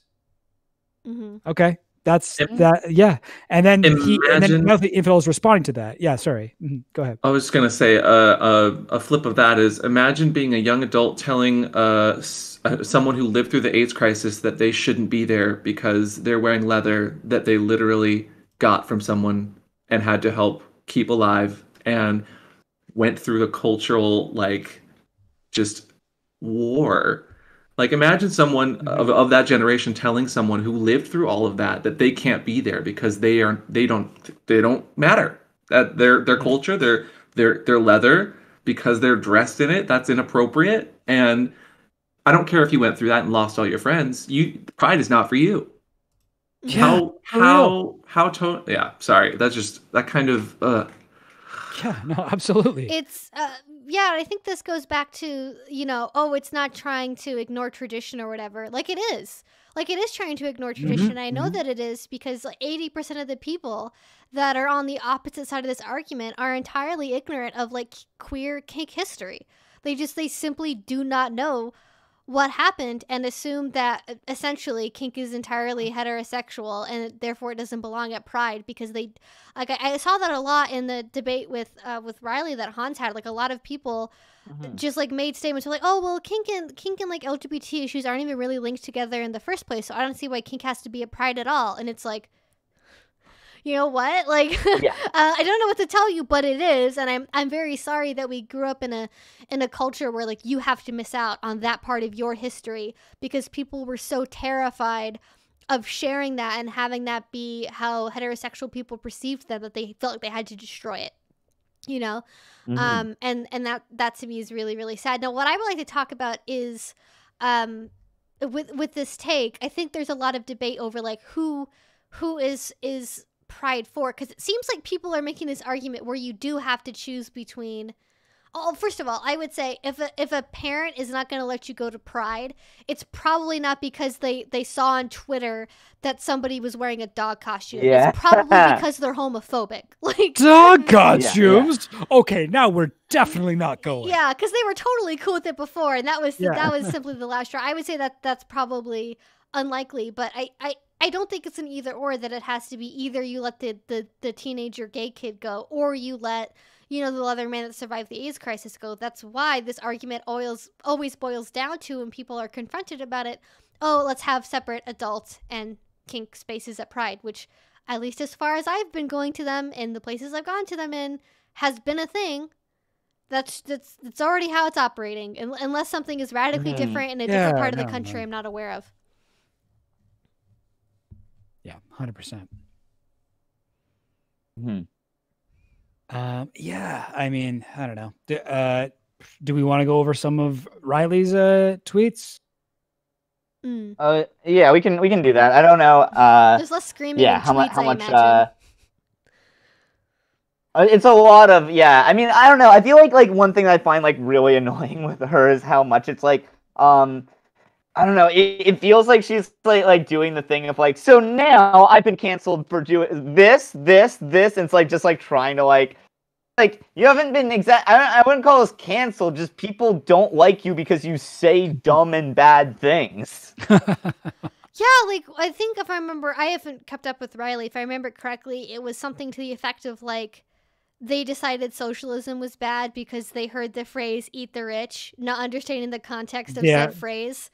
That was Um, one of her yeah. things. which Yeah. is not which is not literally committing cannibalism. Um, but uh, okay. Wow. No, well, I mean, that eat take was like- I'm a vegetarian, so That take was I'm them being like, oh well, what if you okay? Let's say you do socialism, but the um the like uh landlords and the capitalists refuse to give up control of their businesses. What happens then? You can't answer that without saying violence should happen to them. That means that you're advocating violence, and it's like, what happens if someone says that they believe taxation is theft and they will never pay any taxes? Some form of violence will happen to them at some point down the line because that's how politics, that's how political power it works. They're saying that what if like the, you know we change the law and someone refuses to follow a new law, then you're stalling. Like it, it, it was it was a I mean, very bad line of we argument. we all live in settler colonial uh, states, which are continuous violence against the colonized. Like yeah, the like- current system Yeah. is violence. Yeah. it- While I don't know many of these people well, um, and only know them from the Pride discourse, Mm. I think it's telling the fact that a lot of the the bad takes get ignored or try to be backpedaled or deleted. Um, and we don't hold people accountable for their opinions that are wrong. I'm fully of the mindset of like people can change, people should be allowed the, the room to grow and learn and do better. But from what I've seen from a lot of the discourse and, and the receipts that people keep bringing up about some of these people pointing fingers and, and trying to make these blanket statements is that this is a common occurrence and a pattern that they do. Why do we not hold them accountable for for bad takes? And why don't we have more discussions around that? It- It's it's it's so much shouting online. It should be more educating and having conversations. But as we've learned, some of these people are not capable of that because they don't actually listen. They're not open to having that conversation. They're right, you're wrong, shut up. Like that's not a that's not that's not how you do this. Yeah, I would I would love to see a scenario in which it is legitimately okay for like a a big political streamer to actually legitimately have a changed position because I can't think of any of them that have been like actually I've changed my mind on this. And I I don't know if that's like a Twitch culture thing or a streamer thing or a just people that you know anoint themselves as debate overlords decide that all of their opinions are correct and then work their way out from there um but i think i think that there should be an opportunity for education because if we are legitimately interested in like what is best for the queer community that's going to involve a difference of, of of opinion and ultimately probably coming to a different position than whatever your original reaction was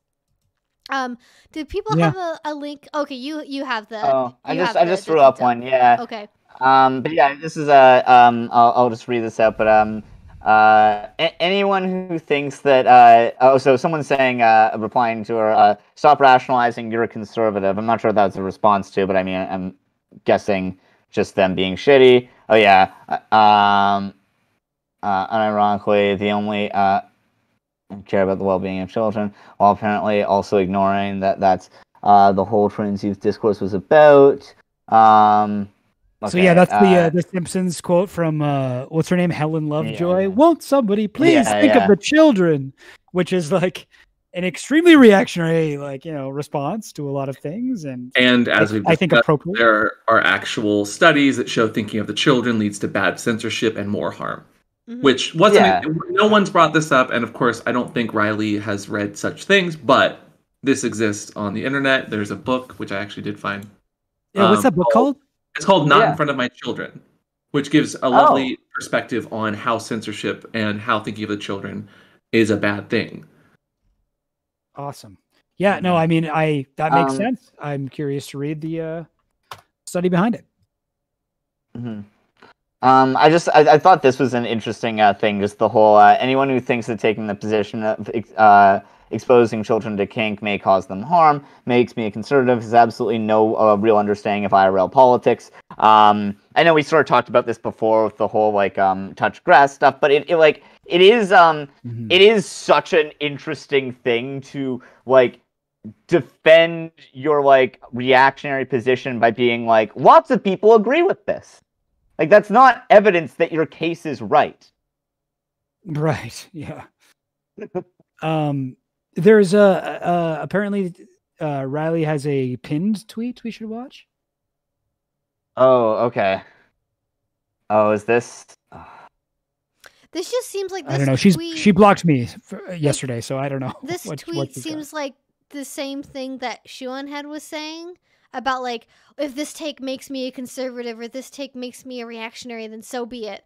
And it's like, um, maybe Okay. you should implore about why that is. Um. Yeah. Okay. Glad Oh, you've this is accepted a the summation of together. the argument. Let's do it. Oh yeah. Do you want to throw um, that? this is it's in the watch together i'm hoping this might work this time we'll have we'll have to see. All right. Uh, no never mind Okay. Uh, I should be able. connect. I I'll should be able to watch if we do uh one two three. play. Uh, sorry, I'm trying to get, I'm trying to get back to Uh, the. Okay, there we go. Okay, and I think we Second. have like if we have like ten minutes left. I think after this, uh, just just FYI, if I didn't check the Discord. yeah i'm, I'm, I'm definitely definitely Yeah, sure. fading a little bit but yeah let's uh if you want uh, to do like a Q and A after we watch this. I'm yeah, down. I think that makes sense. Yeah, let's do that. Um, okay, so I'm just gonna I'm just, I'm just queuing it up. Uh, one second. Uh, da, da, da. All right. Uh, yeah. On three. Uh, one, two, three. Say it Let's again. I'll say it as much as I need to. If you are doing something to satisfy a sexual desire, you're doing a sexual act. If you do it around or involving other people, you are involving them in a sex act. If you're not doing it in order to involve other people in a sex act, then it's fine. Sometimes we need to be able to make determinations about who is and who is not engaging in a sex act. We cannot read people's minds, so we need to be able to go based on the totality of the circumstances. Certain things are going to be easier to understand that they're clearly engaging in sexual acts than others. If you're wearing cat ears in the tail, you're probably fine if you say that you're not. But like if you wear cat ears in the tail and you start moaning and you say I'm engaging in a sexual act, then I would say that you need to be away from children or you need to be only around people who are able to give consent and who are giving consent. Like that's the take. If you want, you can click say it again. I come right after that. It's like if you want, you can clip this, and then it immediately got clipped. But she clipped it herself. Mhm. um, so I like the idea that she's like, if you're like getting off and you're moaning and you're saying I'm being sexually attracted to this, it's like I don't think people really say that when they're t- turned on. Like, oh god, I am sexually I'm considering attracted this is sex this. act right now. To me, this is sexual. say it. It's like, oh yeah, talk dirty to me.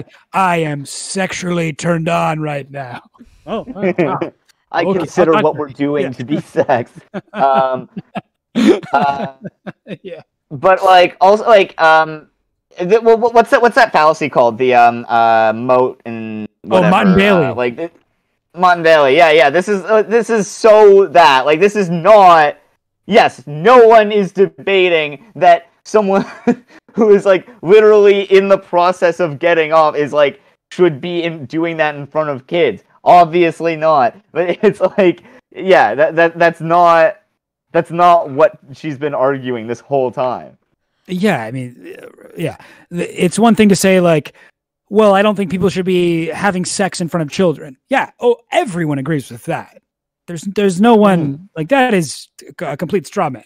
But like to ch- keep retreating to that when your actual point is no one should be allowed to wear any kind of like kink gear anywhere near a child, like you know, at Pride, like Mhm. that's a different take.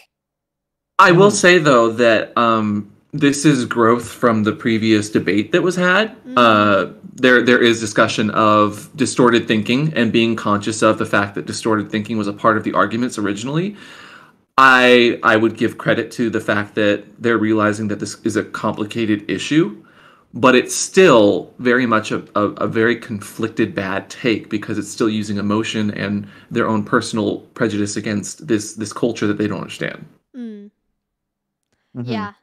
And I, I think I, I would agree. It's uh, certainly a much calmer delivery than during the debate. And I think that allowed for some time for reflection over uh, impulse reaction. And I think that's good. But I think it comes down to the thing I think, uh, at least that Riley is getting at here, that I believe was also said during the debate itself was that like this reasonable person standard of like if a reasonable person can look at that and like understand that it could be sexual it should therefore not be allowed in front of children um which is interesting to me because if our primary concern is children being exploited sexually typically the predators that are going to be doing that already attempt to do so in a way which goes incognito around mainstream society. They don't publicly advertise, I'm a predator, look at me doing a predator thing.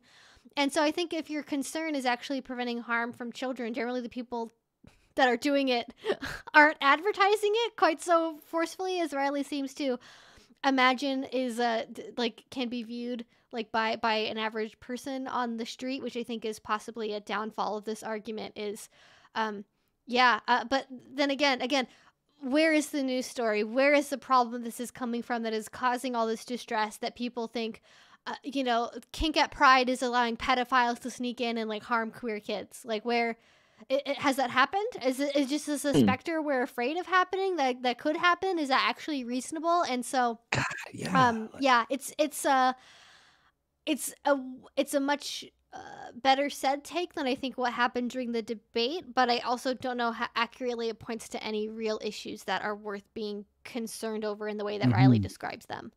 Absolutely. I agree on that. Um, and Yeah. again, it's very much like a, a non point because they don't know how to do the thing that they want to do. And they turn to a, another blanket statement of a normal person or the average person, which again, not we're not trying to appease the normal people by being at Pride and doing a Pride.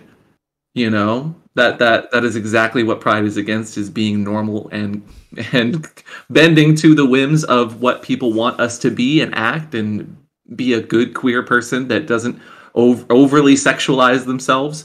That's that's just not reasonable or what the event's about. Mm-hmm.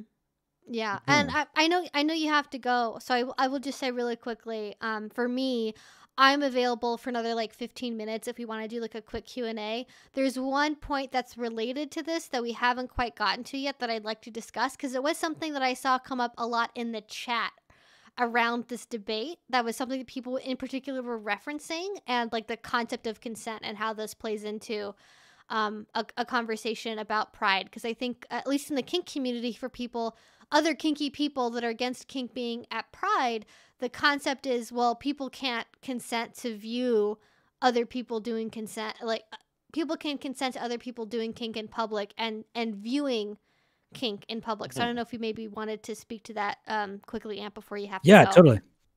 Oh, I, I, I'm, I, I can, I can be a little flexible and stick around for, for Okay. Q and A. Um, Mhm. but can you please repeat the question one more time? Oh, I was yeah. reading chat. Apologies. Then that's okay. Mm. Um, it's about the use of consent in this conversation with regards to, in particular, other kinky people that are against kink being at Pride, uh, making the argument that kink shouldn't be at Pride because other people haven't consented to view kink, and that's why it's problematic. Not necessarily a save the children argument, but a more consent focused argument for why it shouldn't be viewable at Pride. Um, we we touched on it a bit, just being that this event is about sexual liberation, about sexual freedoms. You can't go to the event not expecting to see anything sexual. And the, the kink contingent, who is not acting upon sex, but is just existing in a space wearing gear that they might think that they look cool in, or they might feel sexy in, but they are not having sex, that that doesn't seem like a consent violation because you are at an event that is literally about a riot over sexual freedoms. At least that that's that's my my quick take. Um, it's not a family friendly event in that regard. Mm. Not supposed to be. Yeah. Yeah. I mean, like, I my understanding of that, like, like conversation is like it, it's around something like, say, like exhibitionism or something where it's like, or like, you know, like publicly doing things where it's like someone else, like, part, like part of the like scene or whatever is someone is like the people observing who did not consent to be observers. Like, um, there's a guy in Toronto. I don't think he's done it this, in the last year. Uh, you know, COVID and everything is what they've taken from us. But he, like being uh, uh, who would like kept being found tied up in this like park in his underwear, and it was like with like you know like so, some like some stuff like written on his chest, and it was like people were like, there are kids in this park, and no no one like no one consented to be a part of whatever like in you're doing here. Like mm. that's not yeah. Like, I feel like I, but I feel like that's not at all what's happening at like Pride or like in the types of like kink events that are being talked about generally here, right? Am I? Yeah. Yeah, I. It goes back to consenting to wedding rings, to straight people having affection for each other. Like we, it's not realistic to say that no affection is allowed because it's sexual, and that might make, make people uncomfortable. Mm-hmm. Right. Mm-hmm. There was like a bit of a uh, discourse a little while back when there was a person doing pet play. I think it was like a dominatrix and somebody mm-hmm. being their pet at like a grocery store. Mm-hmm. Um, not during Pride, not like any kind of like special event. It was just a standard grocery store. Um, what would you guys uh, say about that? So it's funny you bring that up because that's actually what I was thinking of in terms of a consent conversation. Because what I saw a lot of people do is there's there's another. Um, I don't think Kat Blaque would describe herself as a kink YouTuber, but she talks a lot about her kink relationship. Mhm. She's also poly, trans, black, great YouTuber. Love Kat Blaque. Um, and a lot of people I saw in, in Vaush's chat during the the Hans debate, during like so many of these things, I saw a lot of people reference, well, actual kinky person, Kat Blaque, would be against kink at Pride because of what she says. In It's this different, video though. About It's a different. dom. Yeah. and so- Yeah, and- that's yeah. and, and, Very different. and so many and, and so um, for people that aren't familiar with that essentially what happened is uh, and this story is actually a little bit um, more than meets the eye because essentially it was it was somebody that was very young that was a survival sex worker that didn't really know about BDSM that was essentially doming because they needed money to be able to afford food got an offer from a client that wanted to be walked around on a leash in a grocery store. And of course if you're a survival sex worker that's working because you literally need money to eat food like or, or to pay for rent like you're you're probably not going to really think too deeply about the larger political ramifications Right. of what you're doing necessarily. You're kind of at a point where you're you're you don't have you don't have like the wherewithal to think about these things. So it, this Sure. person walked somebody on a leash in a grocery store. It went viral i think on on tiktok or, or youtube or somewhere originally and it got really shared around. A lot of people had very strong opinions about it. And I don't think anybody that I know is advocating for that to happen. But what is interesting is people don't seem to make a delineation between the performance of kink at a public venue where those sorts of uh, that that sort of activity or that sort of dress is is not expected versus something happening specifically at a pride event like within the Mhm. confines of a pride event Mm-hmm. and and so people are conflating well because uh, you know professional kinkster that makes youtube videos is saying this is bad. Therefore also kink at pride would be similarly bad even though the two are different scenarios. But in that very video that we're talking about, because I, I watched it last night because someone was like, "You're wrong," because Kat Blaque says that BDSM and kink shouldn't happen in public, therefore it shouldn't happen at Pride. We don't talk about the context, of course, in that instance, which is Pride is different than a, a supermarket. There's there's not a lady on aisle six with her boobs out, like that would be inappropriate. But in that video, Kat talks about how important leather history is Mm. to the dynamic and the conversation, and that this person who was younger and a newer kinkster, while while surviving, and I totally understand that, doesn't understand the dynamics and the history there probably because they are a newer person in that scene. At the same time, Kat doesn't go to Pride. Like I'm pretty sure she makes that point in the video that it's She just not does. for her. Yeah. So I'm I'm I'm of the mindset that while that topic of we don't we don't know what Kat thinks of of kinksters at Pride, but she's it's just not her thing, and I we should respect that. But like using that video as an instance, I watched it and I was like, well, but Kat doesn't go into detail about Pride. You can't use this not relatable topic to make your point just because you're not talking about context. Context is key. Context is important. Context is what makes things relevant and relative.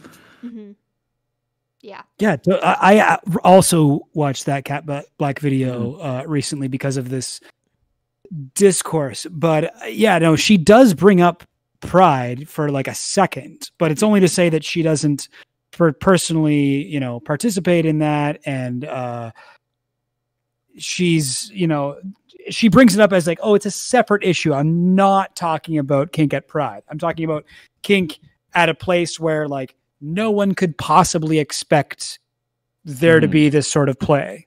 You know, it's it's not Yeah. the same as saying, "Oh, Kat Blaque said you shouldn't wear bring your like so like puppy sub to the grocery store or whatever." Like you can't compare that to like showing up at Pride with your kink gear on. Yeah, yeah. Well, and also there's there's a scene happening in that instance. Mhm. When you're at Pride marching in a parade, you're not doing a scene. Mhm. And and also uh, no one is marching around on all fours at Pride because that would be literal damage to your body. So like you're not getting Yeah. sexual in that way. But like the, the, the supermarket scene was a scene. She was she was degrading him. She was humiliating him. It was actual arousal happening. Pro- well, I'm not going to say actual arousal. I'm not the guy, but like there is definitely a lot more arousal happening, or at least some some uh, assumed arousal there because he's paying her for her services. Mm-hmm. No one's getting paid for their services at Pride. It's a fucking parade. They're doing that for for free because they're paying homage to their history. Um, Yeah. and all, all this to say, like, I, I love Kat and I agree with her her perspective on that instance, but she doesn't talk about what she thinks about Pride.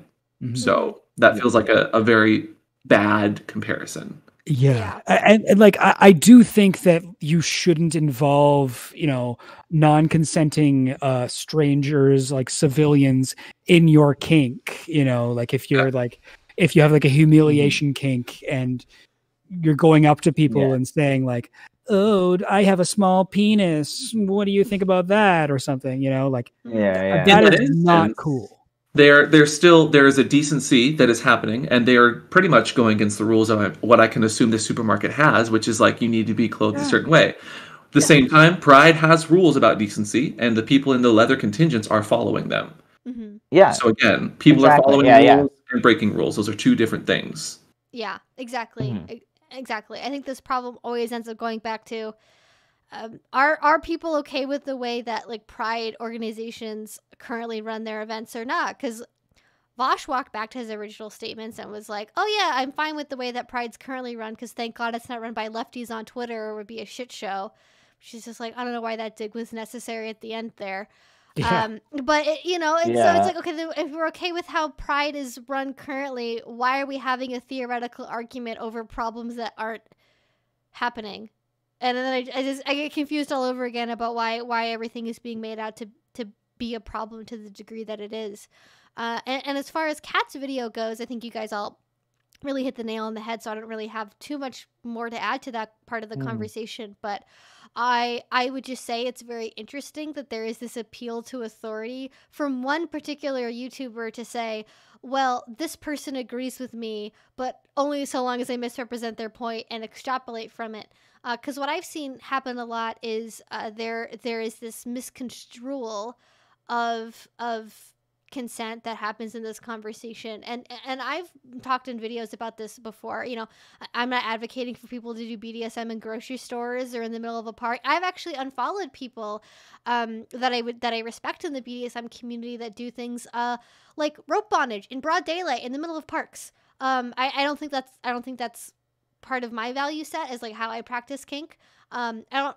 It's on the edge of my comfort zone. Um, I I don't personally advocate for that. People do it, obviously, which is why I had to unfollow people that that do. Um, I'm not for doing kink in public, but again, like Pride has certain codes of conduct. They have standards. They have norms. They have uh, you know dress codes, and as long as people are following those things, I don't understand what people are really getting mad over, except for how prides where they live are currently being organized, or how prides in other parts of the world that they never have to go to are being organized, at least. Totally.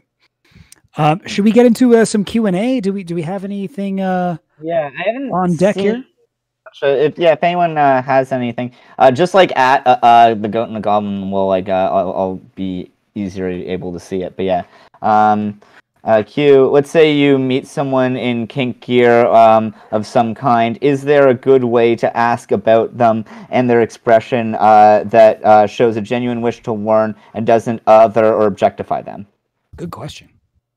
Yeah, that's a great question. Sure. Uh, Evie, do you mind if I start? Yeah, yeah, go for it.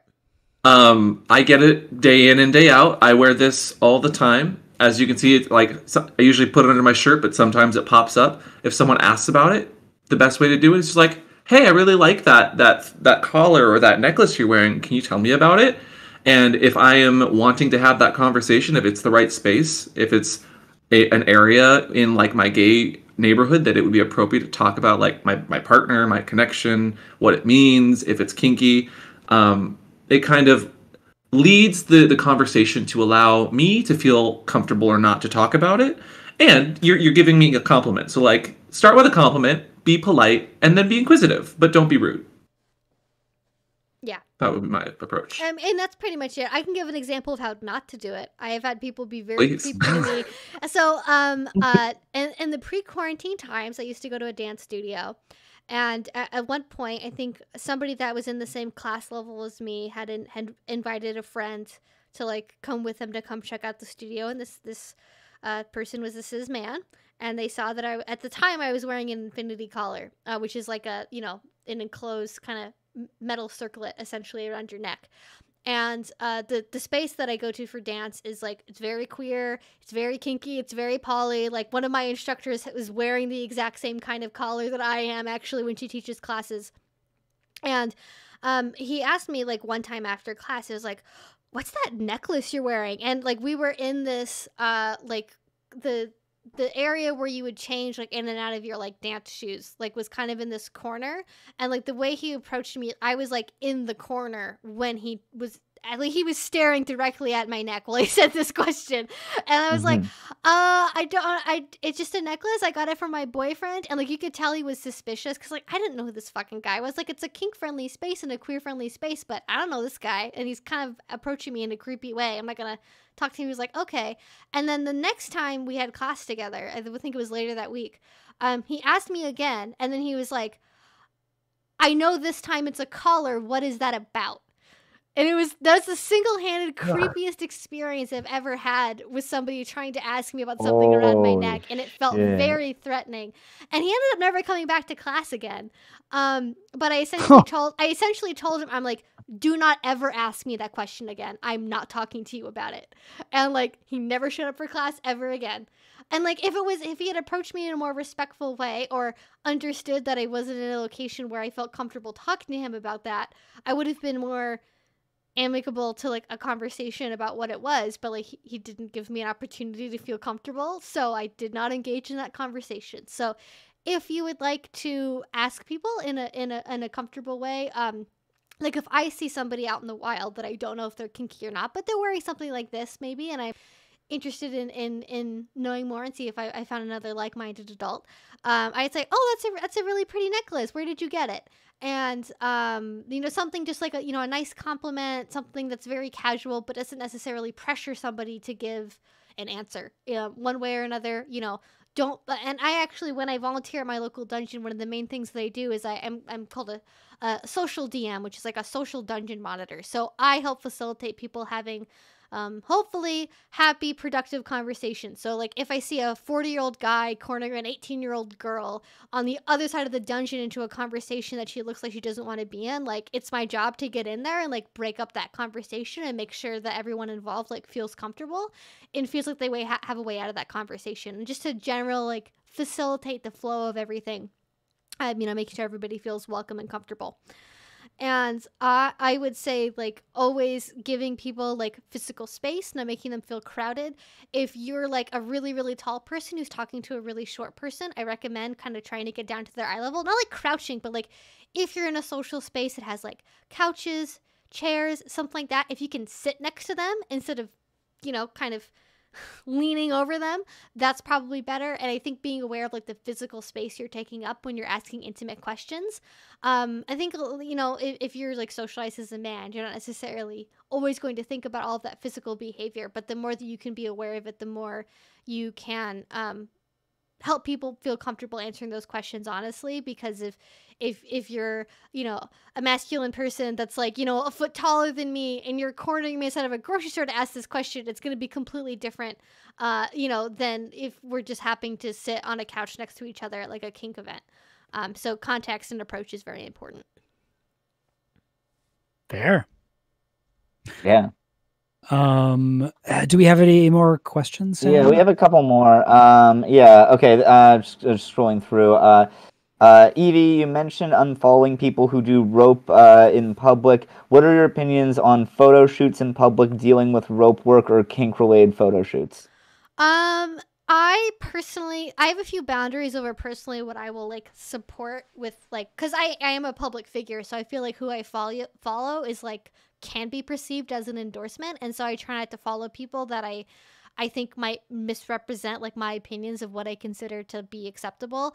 Um, one other thing I don't do, I don't I don't uh, follow people that involve like animals in their play. There's a very big trend of like people that do rope bondage, also called shibari, where they like I, I think actually um Belle Delphine did this, where like she she did something with like an octopus in a photo shoot, and like I couldn't. Oh yeah, a like, dead no, octopus with no, uh, like, googly eyes. That's like that's uh, I can I can see the appeal maybe, but like I. Uh, uh, that's that's not part of my wheelhouse for what I consider acceptable. So I also unfollow for that. I personally, um, I, I think there is a, a degree of public to which you can do things safely. So if you're in, um, you know, a national forest, for example, I guess that's technically public, but it's it's rather unlikely that somebody's gonna run into you unless a hiker is like way off course or if you're in public but public means like the backyard of your like your best friend's house that's probably also okay.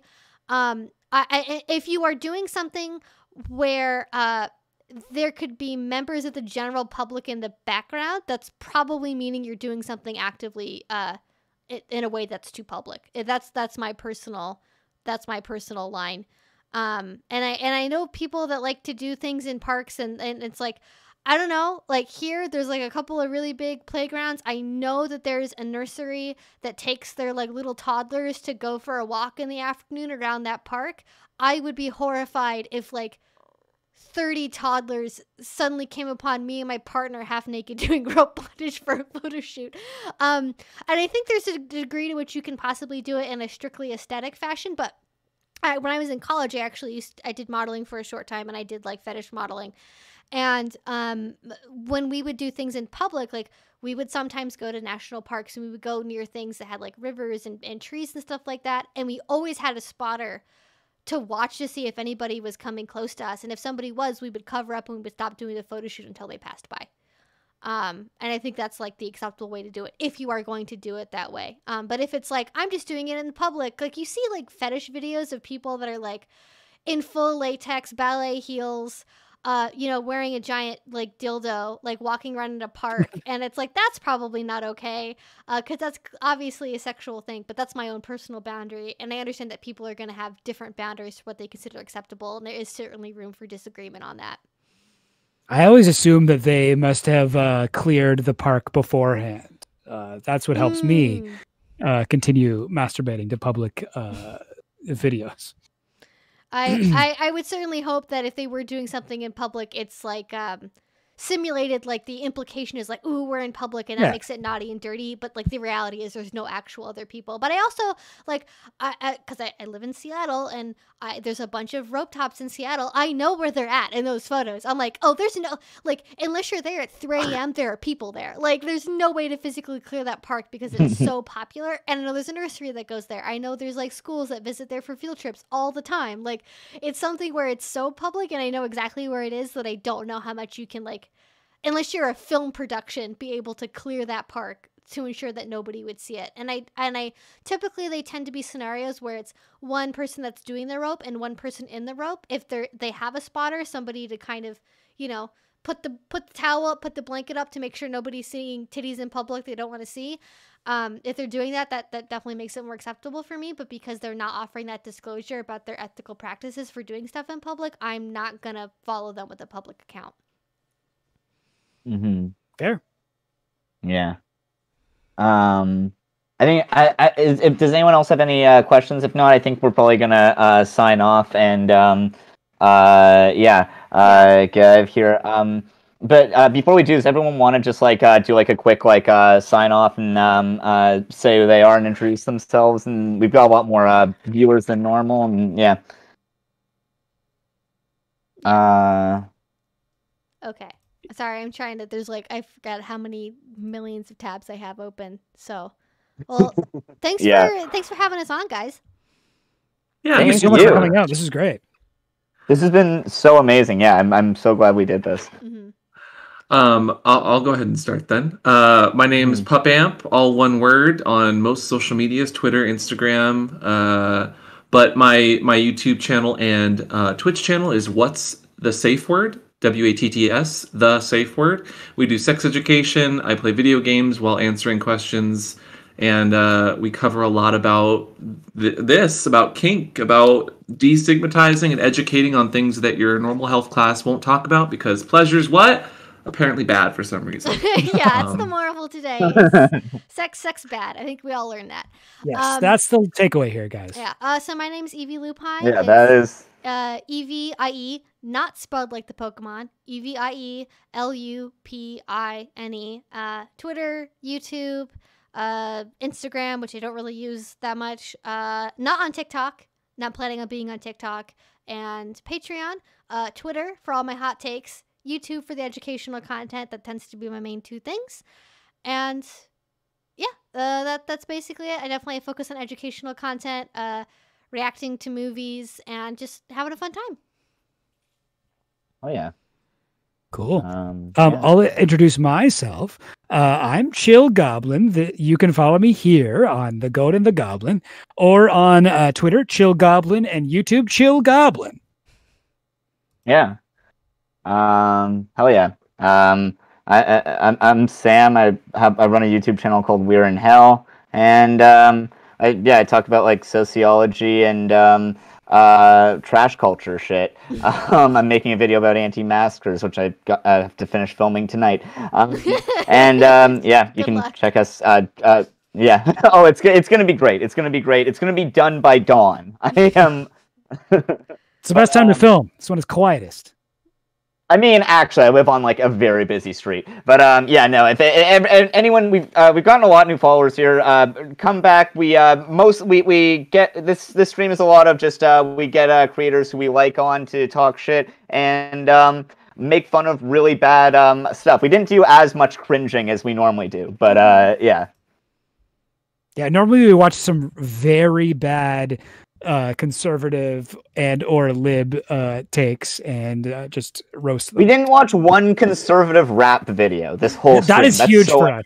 We didn't watch any uh, Q pilled rapper uh, uh, rap about Hillary Clinton. Uh, listen, listen. Not even for a second. with the with the degree of pedophile discourse that has happened in the last four days, Ben Shapiro is going to make a like a horrible like take about this at some point because he has nothing else to live for. I can't wait. Oh, yeah, I no, can't sure. wait. For sure. Oh, I do have a Um, Twitch. It's also uh, it's also just Evie Lupine. Oh, yeah. Um, I mostly I stream in there um on Mondays. I'm currently playing uh Valheim, and uh yeah, if you also want to follow me on Twitch, I'm on there. Evie Lupine. Super easy, easy to find me. Just search Evie Lupine. That's pretty much it. Awesome. Um, yeah, just want to say like thank you guys so much for for showing up. I know that the the discourse has been like very intense over the past few days. Uh, you know, I'm not even queer, and I was feeling uh like I needed to take a break from Twitter. I was feeling attacked. Um, so uh, yeah, thank you so much. I think this was like a really great conversation, and uh, hopefully, this you is my know. palate cleanser for everyone. Oh, Oh hell Bandit. yeah! This is Bandit. This is my Pomeranian.